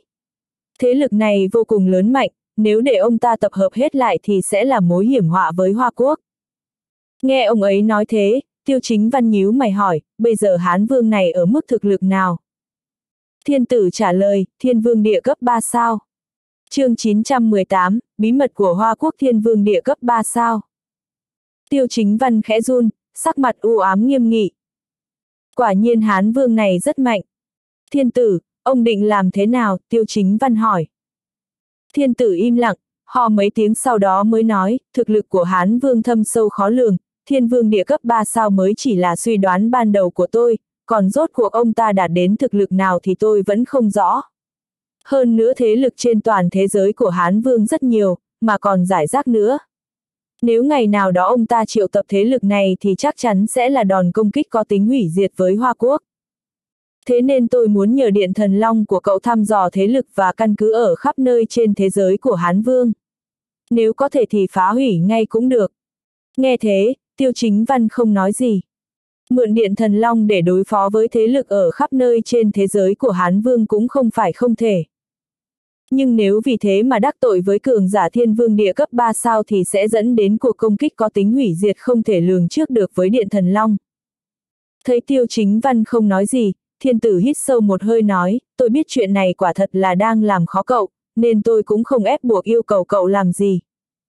Thiên tử, tôi quyết định rồi, kể từ hôm nay Điện Thần Long sẽ bí mật điều tra tất cả thế lực và hướng đi của Hán Vương. Tiêu chính văn nghiêm túc nói, giữa hai hàng mày hiện lên sự lạnh lùng bức người. Sinh ra là người Hoa Quốc, tất nhiên sẽ hết mình vì Hoa Quốc. Dù bảo tiêu chính văn anh phải chết vì nước, anh cũng không từ chối. Thiên tử gật đầu, tán thưởng nhìn tiêu chính văn nói, tốt. Không hổ là cháu của tiêu long, tính cách này quả nhiên là vua Bắc Lương của Hoa Quốc. Hoa Quốc có chủ soái như cậu là phúc đức của Hoa Quốc. Tiêu chính văn cười nói, đây đều là việc vua Bắc Lương nên làm. Thiên tử khẽ ừ một tiếng nói, cậu yên tâm, tôi cũng sẽ âm thầm bảo người giúp các cậu, không để các cậu chiến đấu một mình đâu. Tiêu chính văn gật đầu, bàn bạc kế hoạch tiếp theo với thiên tử để đấu lại Hán Vương. Mãi đến cuối, thiên tử mới nói, à phải rồi, có tin tức gì của ông nội cậu không? Tiêu chính văn hít sâu vào rồi nói, tôi từng gặp ông ấy một lần. Lần trước sau khi đánh với bốn gia chủ rồi bị thương nặng, là ông nội đã ra tay cứu tôi. Vừa nghe thế thiên tử cũng hiểu ngay, nói tôi cảm thấy hổ thẹn với ông nội cậu. Nói đến đây, thiên tử không nói tiếp nữa, tiêu chính văn cũng đứng lên định ra khỏi thâm cung. Nhưng anh vừa đi được mấy bước thì thiên tử bỗng nói, tiêu chính văn, tôi cũng đã điều tra được vài chuyện bí mật về việc nhà họ tiêu bị hủy diệt, hình như đằng sau bốn gia tộc lớn còn có bóng dáng của võ thần tông. Tôi nghĩ chắc cậu cũng đã nghe được vài điều gì đó. Tiêu chính văn dừng chân, xoay người lại, ánh mắt lóe sáng nhìn thiên tử, hỏi ông đã biết từ lâu rồi sao? Thiên tử thở dài, gật đầu nói, đúng thế, tôi đã biết từ lâu. Sở dĩ không nói với cậu là vì lo lắng cậu sẽ xảy ra mâu thuẫn với võ thần tông. Võ thần tông là đại tông đứng đầu võ tông Hoa Quốc, là chủ của tông miếu võ tông Hoa Quốc, hơn nữa vị thiên tử đó xuất thân từ võ thần tông. Thế nên võ thần tông rất có ảnh hưởng với Hoa Quốc, tôi giấu cậu cũng là bất đắc dĩ. Nghe ông ấy nói, tiêu chính văn nhíu mày. Anh hiểu ý của thiên tử. Ở vị trí cao thì có vài chuyện ông ấy phải suy xét đến đại cục. Thiên tử, tôi tự có tính toán về chuyện này, tôi sẽ bắt họ trả mối thù của nhà họ tiêu. Trước khi chưa đủ mạnh, tôi sẽ không xảy ra xung đột gì với võ thần tông. Tiêu chính văn nói. Thiên tử gật đầu, không nói gì nữa. Tiêu chính văn cũng rời khỏi thâm cung. Trong sảnh lớn, Giang Vạn Long vội đứng dậy hỏi, sao rồi, hai người nói gì thế? Tiêu chính văn lắc đầu nói, về rồi nói. Sau đó anh chào tạm biệt Hắc Long Vương và từ Kiêu Long rồi đi đến Long Các. Tứ lão chăm chú nhìn tiêu chính văn hỏi, rốt cuộc là sao? Ai đã làm thiên tử bị thương? Tiêu chính văn nói, Hán Vương. Hán Vương. Nghe đến cái tên này, tứ lão đều kinh ngạc, mắt trợn tròn. Sao có thể là ông ta được chứ? Giang Vạn Long vô cùng kinh ngạc. Tần Hán Quốc cũng hít sâu nói, không ngờ Hán Vương này vẫn còn sống. Nhìn dáng vẻ ngạc nhiên của tứ lão, tiêu chính văn biết huy danh lúc trước của Hán Vương này không hề thấp. Nhưng từ trước đến giờ anh lại chưa từng nghe ai nhắc đến Hán Vương. Tứ lão, rốt cuộc năm đó Hán Vương đã làm gì, tiêu chính văn hỏi. Giang Vạn Long im lặng, chắp tay sau lưng nhìn bản đồ Giang Sơn Hoa Quốc nói, Hán Vương là một vị thống soái vô địch ngang hàng với ông nội cậu vào thời kỳ tứ đại thiên tử, ông ta đã làm rất nhiều việc để thiên tử hiện tại lên ngôi. Nhưng Hán Vương này lại có dã tâm rất lớn, muốn làm bá chủ, thậm chí nhiều lần cãi vã với thiên tử, làm trái lệnh của thiên tử. Nhất là chiến tranh biên giới với bốn nước năm đó, Hán Vương nắm quyền đại quân 500.000 người nhưng lại không nghe theo lệnh điều quân, cứ án binh bất động dẫn đến Hoa Quốc bị mất hết bảy thành phố ở biên giới. Sau đó thiên tử chất vấn thì Hán Vương lại không nghe theo lệnh vua, bác bỏ lệnh của thiên tử. Đến lúc này, dã tâm phản nước của Hán Vương mới lộ rõ. Thiên tử và ông nội cậu bí mật dàn xếp đại quân 700.000 người của Hoa Quốc tiêu diệt Hán Vương. Cứ nghĩ rằng ông ta đã chết trong trận chiến đó, nhưng không ngờ ông ta vẫn còn sống. Nói đến đây, Giang Vạn Long thở dài. Tiêu chính văn cũng biết rõ nguyên nhân trong đó, ánh mắt nghiêm nghị nói, thiên tử bảo tôi dùng lực lượng của điện thần Long bí mật đi điều tra các thế lực hiện giờ ở khắp các nơi trên thế giới của Hán Vương. Nghe thế, Giang Vạn Long nhíu mày nói, cậu điều tra Hán Vương với danh nghĩa điện thần Long e là không đơn giản như thế.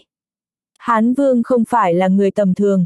Nếu ông ta thật sự còn sống, hơn nữa biết được cậu âm thầm điều tra về ông ta thì cậu sẽ đối mặt với sự trả thù của Hán Vương.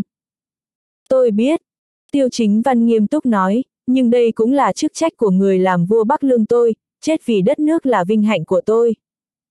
Nghe thế, mấy người Giang Vạn Long đều tán thưởng gật đầu. Cậu có ý nghĩ như vậy rất tốt, nhưng nhất định phải thật cẩn thận. Hán Vương không đơn giản, bây giờ cậu là đỉnh cao vinh quang của chiến khu Hoa Quốc, nếu cậu thất bại thì quân đội Hoa Quốc sẽ mất đi một vị thống soái ưu tú trong tương lai. Giang Vạn Long nói, gương mặt hiện lên vẻ lo lắng. Tiêu chính văn hiểu ý trong lời Giang Vạn Long, nói yên tâm đi, tôi tự có tính toán. Dứt lời, tiêu chính văn rời khỏi Long Các, tạm ở lại khách sạn gần đó. Đêm khuya, anh giao nhiệm vụ đến cho trụ sở chính ở Điện Thần Long. Điện Thần Long nghe lệnh, kể từ hôm nay điều tra toàn bộ thế lực và thông tin liên quan đến Hán Vương trên phạm vi toàn cầu. Phải nhớ, kẻ địch vô cùng gian xảo nên phải cực kỳ cẩn thận. Sau đó tiêu chính văn cúp máy, anh đứng trên ban công nhìn màn đêm long kinh ngoài cửa sổ. Cũng đúng lúc này. Xoẹt. Một mũi tên đột nhiên xuyên qua màn đêm bắn về phía này, lướt qua tai tiêu chính văn rồi cắm lên tường. Tiêu chính văn nhíu mày, xoay người nhìn mũi tên trên bức tường đằng sau rồi lấy bức thư trên đó xuống. Mở bức thư ra, bên trong chỉ vỏn vẹn mấy chữ ngắn gọn, gặp nhau ở đỉnh Hoa Mai. chương 919, đến Võ Thần Tông đỉnh Hoa Mai. Tiêu chính văn cao mày nhìn bức thư, nét chữ cứng cáp có lực, chắc hẳn là chữ viết của một người đàn ông. Tiêu chính văn cũng không nghĩ nhiều mà cất bước rời khỏi khách sạn, lái xe tới đỉnh Hoa Mai. Đến đỉnh Hoa Mai, anh nhìn thấy một bóng người mặc áo khoác dài màu đen, ngồi bên trong đỉnh và đang uống trà. Lúc nhìn thấy bóng người mặc áo khoác dài màu đen này, tiêu chính văn cũng hơi nhíu mày, bước qua đó và ngồi xuống rồi hỏi, sao ông lại ở đây? Người đàn ông mặc áo khoác dài đen điềm nhiên nói, thiên tử bị thương nặng, hán vương xuất hiện, sao ông có thể không đến cơ chứ? Ông nội, giữa ông, thiên tử và hán vương kia rốt cuộc đã xảy ra chuyện gì vậy? Thật sự giống như lời thiên tử và cả tứ lão long các nói là hán vương phản bội hoa quốc sao? Tiêu chính văn nghiêm túc hỏi. Không phải anh không tin lời thiên tử và tứ lão, anh chỉ cảm thấy bên trong chuyện này dường như vẫn còn có bí mật khác nữa. Mà thiên tử lại không nói cho anh biết bí mật này. Tiêu Long nhớn mày, gương mặt cương trực lộ ra bên dưới lớp mũ rộng của áo khoác dài đen, nói cháu trai, nếu bây giờ cháu biết quá nhiều về chuyện của Hán Vương thì sẽ không có lợi gì cho bản thân cháu. Cháu chỉ cần biết rằng Hán Vương thật sự đã phản bội lại Hoa Quốc, phản bội lại thiên tử. Đây là sự thật, còn về những bí mật khác thì vẫn chưa phải lúc. Nghe vậy, tiêu chính văn nhíu chặt mày, cầm tách trà trên mặt bàn lên, một hơi uống cạn rồi nói, mấy người không nói thì cháu cũng sẽ đi điều tra thôi. Thấy dáng vẻ này của tiêu chính văn, tiêu long cười nhạt, nói cái tính khí này của cháu y hệt ông khi xưa. Bất cứ chuyện gì cũng có cách của nó, một khi quyết định rồi sẽ rất khó để thay đổi. Nói xong, tiêu long lấy từ trong áo khoác ra mấy mảnh giấy cũ, nói, đây là hai mảnh giấy cũ cuối cùng của cuốn Thiên Sơn Thư Lục. Hai mảnh giấy cũ cuối cùng. Tiêu chính văn kinh ngạc, nhìn Tiêu Long với dáng vẻ không hiểu, anh nhận lấy mấy mảnh giấy cũ trong tay Tiêu Long rồi liếc mắt nhìn qua, bất chợt cảm thấy vô cùng kinh sợ. Nội dung được ghi lại trong hai mảnh giấy cũ này đều là những thứ có liên quan đến cảnh giới thiên vương. Cũng có thể nói rằng, nếu như không phải người đã đạt đến cảnh giới thiên vương thì căn bản không thể hiểu rõ, thậm chí còn không có cách nào để học được gì từ hai mảnh giấy cũ này. Tiêu chính văn nhíu mày, nhìn Tiêu Long bằng ánh mắt kinh ngạc, hỏi ông nội, không phải cuốn sách Thiên Sơn Thư Lục chỉ có 11 mảnh giấy cũ thôi sao? Tiêu Long thở dài một hơi, nói không, Thiên Sơn Thư Lục có tổng cộng 13 mảnh giấy cũ, năm đó ông phát giác được có người đang ngấm ngầm muốn chiếm đoạt Thiên Sơn Thư Lục của nhà họ Tiêu nên đã cố ý tung tin chỉ có 11 mảnh, sau đó cất giấu hai mảnh giấy cũ cuối cùng này đi. Dù có là bố cháu thì cũng không biết chuyện này. Bây giờ, thế cục thay đổi quá nhiều, ông nội giao lại cho cháu hai mảnh giấy cũ cuối cùng này, hy vọng cháu có thể nhanh chóng lĩnh hội, học tập và đột phá bản thân. Tiêu chính văn, cháu trai của ông, Hoa Quốc sắp sửa diễn ra sự thay đổi cục diện lớn nhất trong vòng 100 năm trở lại đây. Để ứng phó với sự biến động có liên quan đến mấy thế hệ này, cháu nhất định phải tận dụng tất cả thời gian để nâng cao thực lực của mình. Chỉ khi cháu đủ mạnh thì mới đứng vững được trong lần biến động sắp tới. Nghe thấy những lời này được thốt ra từ miệng của ông nội, sắc mặt tiêu chính văn trở nên nghiêm trọng dị thường. Nghe ý của ông nội thì có vẻ như Hoa Quốc sắp xảy ra chuyện lớn rồi. Ông nội, biến động này có liên quan gì đến Hán Vương không? Tiêu chính văn hỏi. Tiêu Long gật đầu rồi lại lắc đầu nói, Hán Vương thì chỉ là một phần của biến động thôi, biến số lớn hơn còn ở phía sau. Mà người đứng phía sau này, dù có là ông đi nữa thì cũng không có đủ khả năng để chiến thắng. Vậy nên ông nội mới mai danh ẩn tích nhiều năm như vậy, chính là để âm thầm bày bố thế trận. Vốn dĩ biến động cục diện và sự bày bố này không có liên quan gì tới cháu. Thế nhưng hiện giờ cháu đã trở thành cường giả thiên vương, cũng đã nhập cuộc, vậy nên cháu phải trở nên hùng mạnh hơn để nắm lấy một chút quyền chủ động. Nghe vậy, tiêu chính văn cao mày, nhìn mấy mảnh giấy cũ trong tay, nói cháu chỉ vô tình vướng vào biến động cục diện lần này thôi sao. Tiêu Long nhớn mày, ngẩng đầu nhìn bầu trời sao, nói, nhìn thì giống như vô tình, thế nhưng thật ra là có người dẫn dắt ở phía sau. Thảm án của nhà họ tiêu năm đó, nhìn bên ngoài thì là do bốn gia tộc lớn gây ra. Thế nhưng khi điều tra sâu hơn thì bóng dáng của võ thần tông lại dần dần lộ rõ. Vốn dĩ ông cho rằng đây đã là chân tướng, tuy nhiên gần đây ông tìm đọc sách cổ và điều tra lại thảm án của nhà họ tiêu thì mới phát hiện ra quả thực võ thần tông mới là người sắp đặt phía sau. Có điều sau lưng võ thần tông dường như còn có thế lực khác nữa, chỉ vung tay đã gây ra thảm án cho nhà họ tiêu. Nghe tới đây, tiêu chính văn vô cùng kinh ngạc.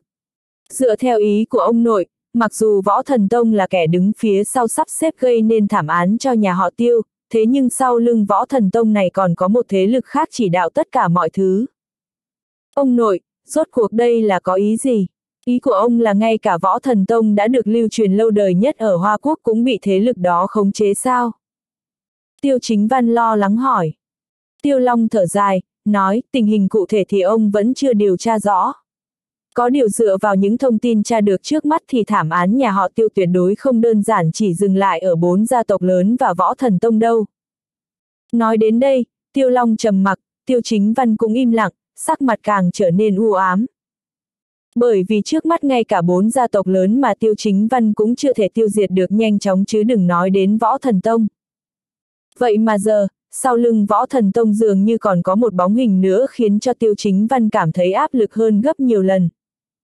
Thấy tiêu chính văn trầm mặc, tiêu long vỗ vào vai anh, bình thản cười nói, cháu trai, không cần phải nghĩ quá nhiều. Mục tiêu hàng đầu của cháu bây giờ chính là khiến bản thân trở nên mạnh mẽ hơn, nhanh chóng nâng cao thực lực. Còn về những chuyện khác thì ông sẽ âm thầm giúp cháu giải quyết. Tiêu chính văn nhíu mày, nhìn tiêu long nói, ông nội, rốt cuộc là bây giờ thực lực của ông đã đạt đến cấp độ nào rồi. Tiêu long bật cười bí hiểm, nói thực lực của ông, dù có là tông chủ võ thí thiên của võ thần tông thì cũng không dám tùy tiện giao đấu. Tiêu chính văn sững sờ, đại khái cũng hiểu ra rồi. Sau khi tiêu long nói thêm vài câu thì cũng nhanh chóng rời đi, biến mất trong màn đêm đen. Tiêu chính văn quay trở lại khách sạn, nghĩ ngợi rồi gọi điện thoại cho ông Tần, nói, ông Tần, ngày mai dẫn tôi đến thăm võ thần tông một chuyến. Võ thần tông, cậu điên rồi à, sao cậu lại nghĩ đến chuyện tới võ thần tông? Thanh danh của cậu trong võ tông Hoa Quốc hiện không tốt chút nào. Bao nhiêu người đều tỏ ra bất mãn với cậu. Tần Hán Quốc sốt ruột, không biết rằng rốt cuộc tiêu chính văn muốn làm cái gì. Tiêu chính văn lại bật cười, nói ông Tần, không cần phải lo lắng, tôi chỉ tới thăm hỏi chút thôi, sẽ không làm những chuyện khác. Nghe vậy, Tần Hán Quốc nhíu mày, hỏi cậu thật sự chỉ đến thăm hỏi thôi sao? Đúng vậy, Tiêu Chính Văn nói. Tiêu Chính Văn phải cam đoan mấy lần thì Tần Hán Quốc mới đồng ý dẫn anh tới Võ Thần Tông.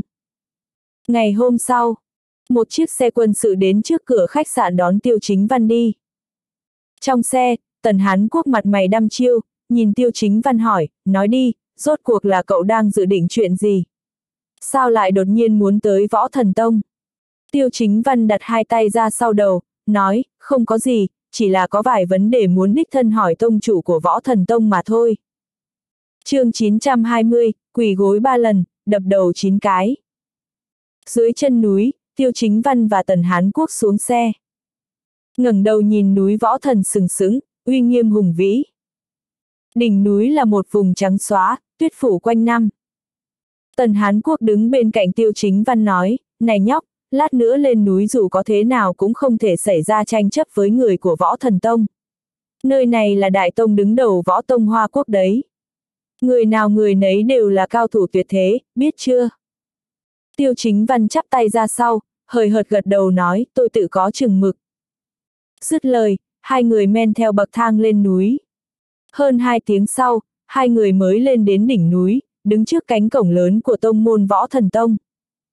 Trước cổng có đệ tử võ thần tông đang đứng canh cửa, sau khi nhìn thấy tần Hán Quốc đưa thiệp mời thì mới đẩy cánh cửa đá nặng trịch ra, rồi dẫn hai người bước võ thần tông.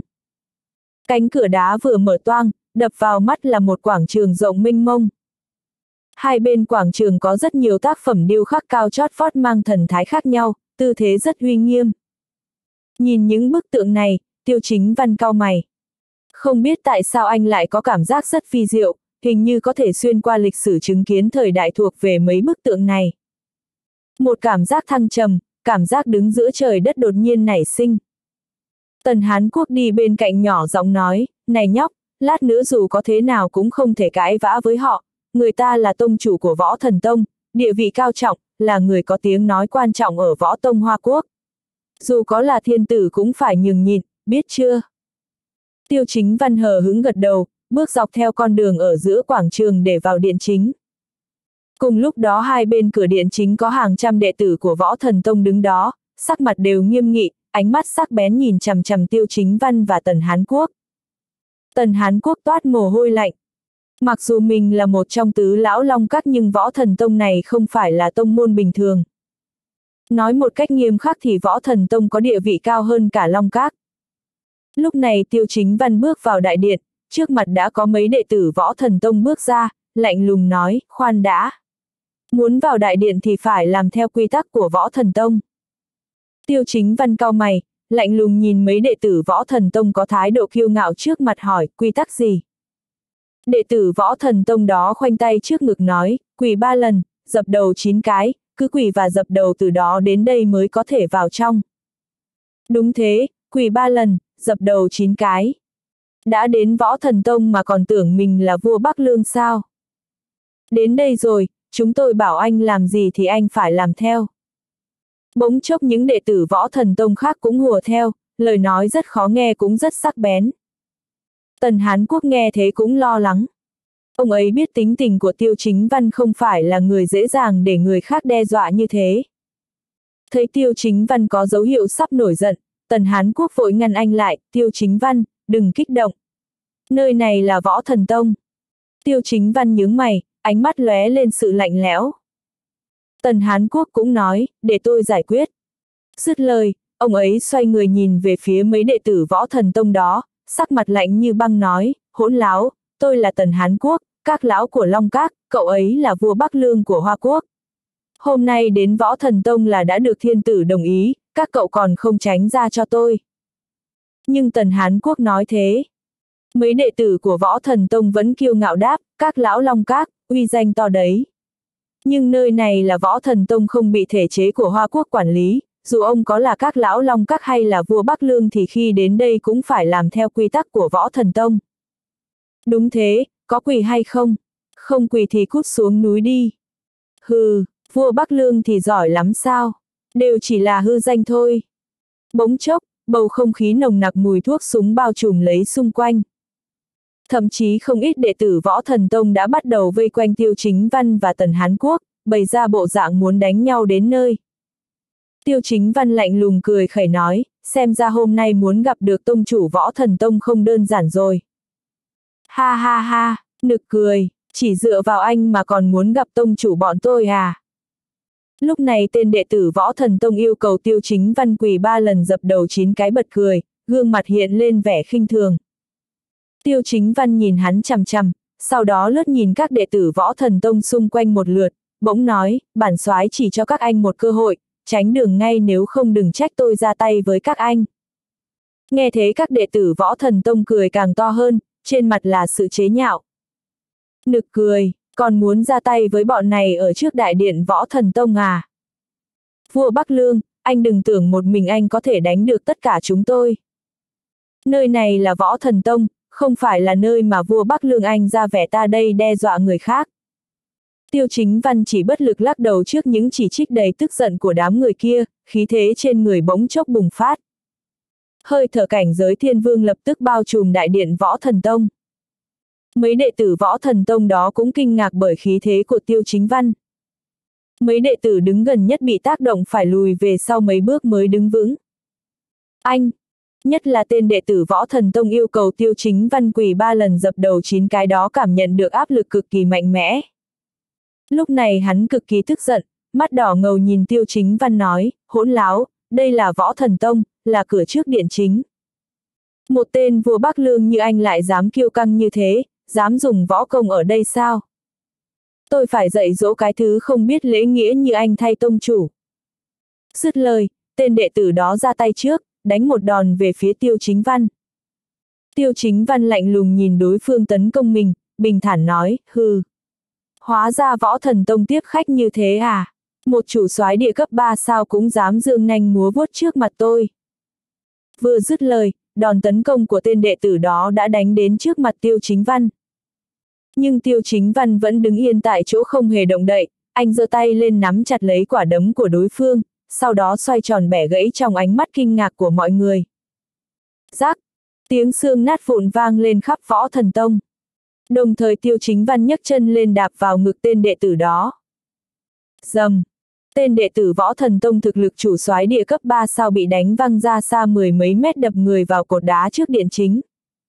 Sau đó hắn rơi xuống đất, tay ôm ngực phun ra vài ngụm máu. Tiêu chính văn chỉ dùng 50% sức lực cho cú đá này. Dù sao cũng là võ thần tông, anh không muốn giết người. Bỗng chốc các đệ tử võ thần tông xung quanh đều chạy đến chỗ người đàn ông nằm trên mặt đất hô, thất sư huynh, anh có sao không? Anh dám đánh thất sư huynh của bạn tôi. Muốn chết hả? Mọi người cùng lên đánh cái tên ngông cuồng này đi. Các đệ tử của võ thần tông bao vây lấy tiêu chính văn. Cả điện chính trở nên căng thẳng lạ thường. Audio điện tử võ tấn bền.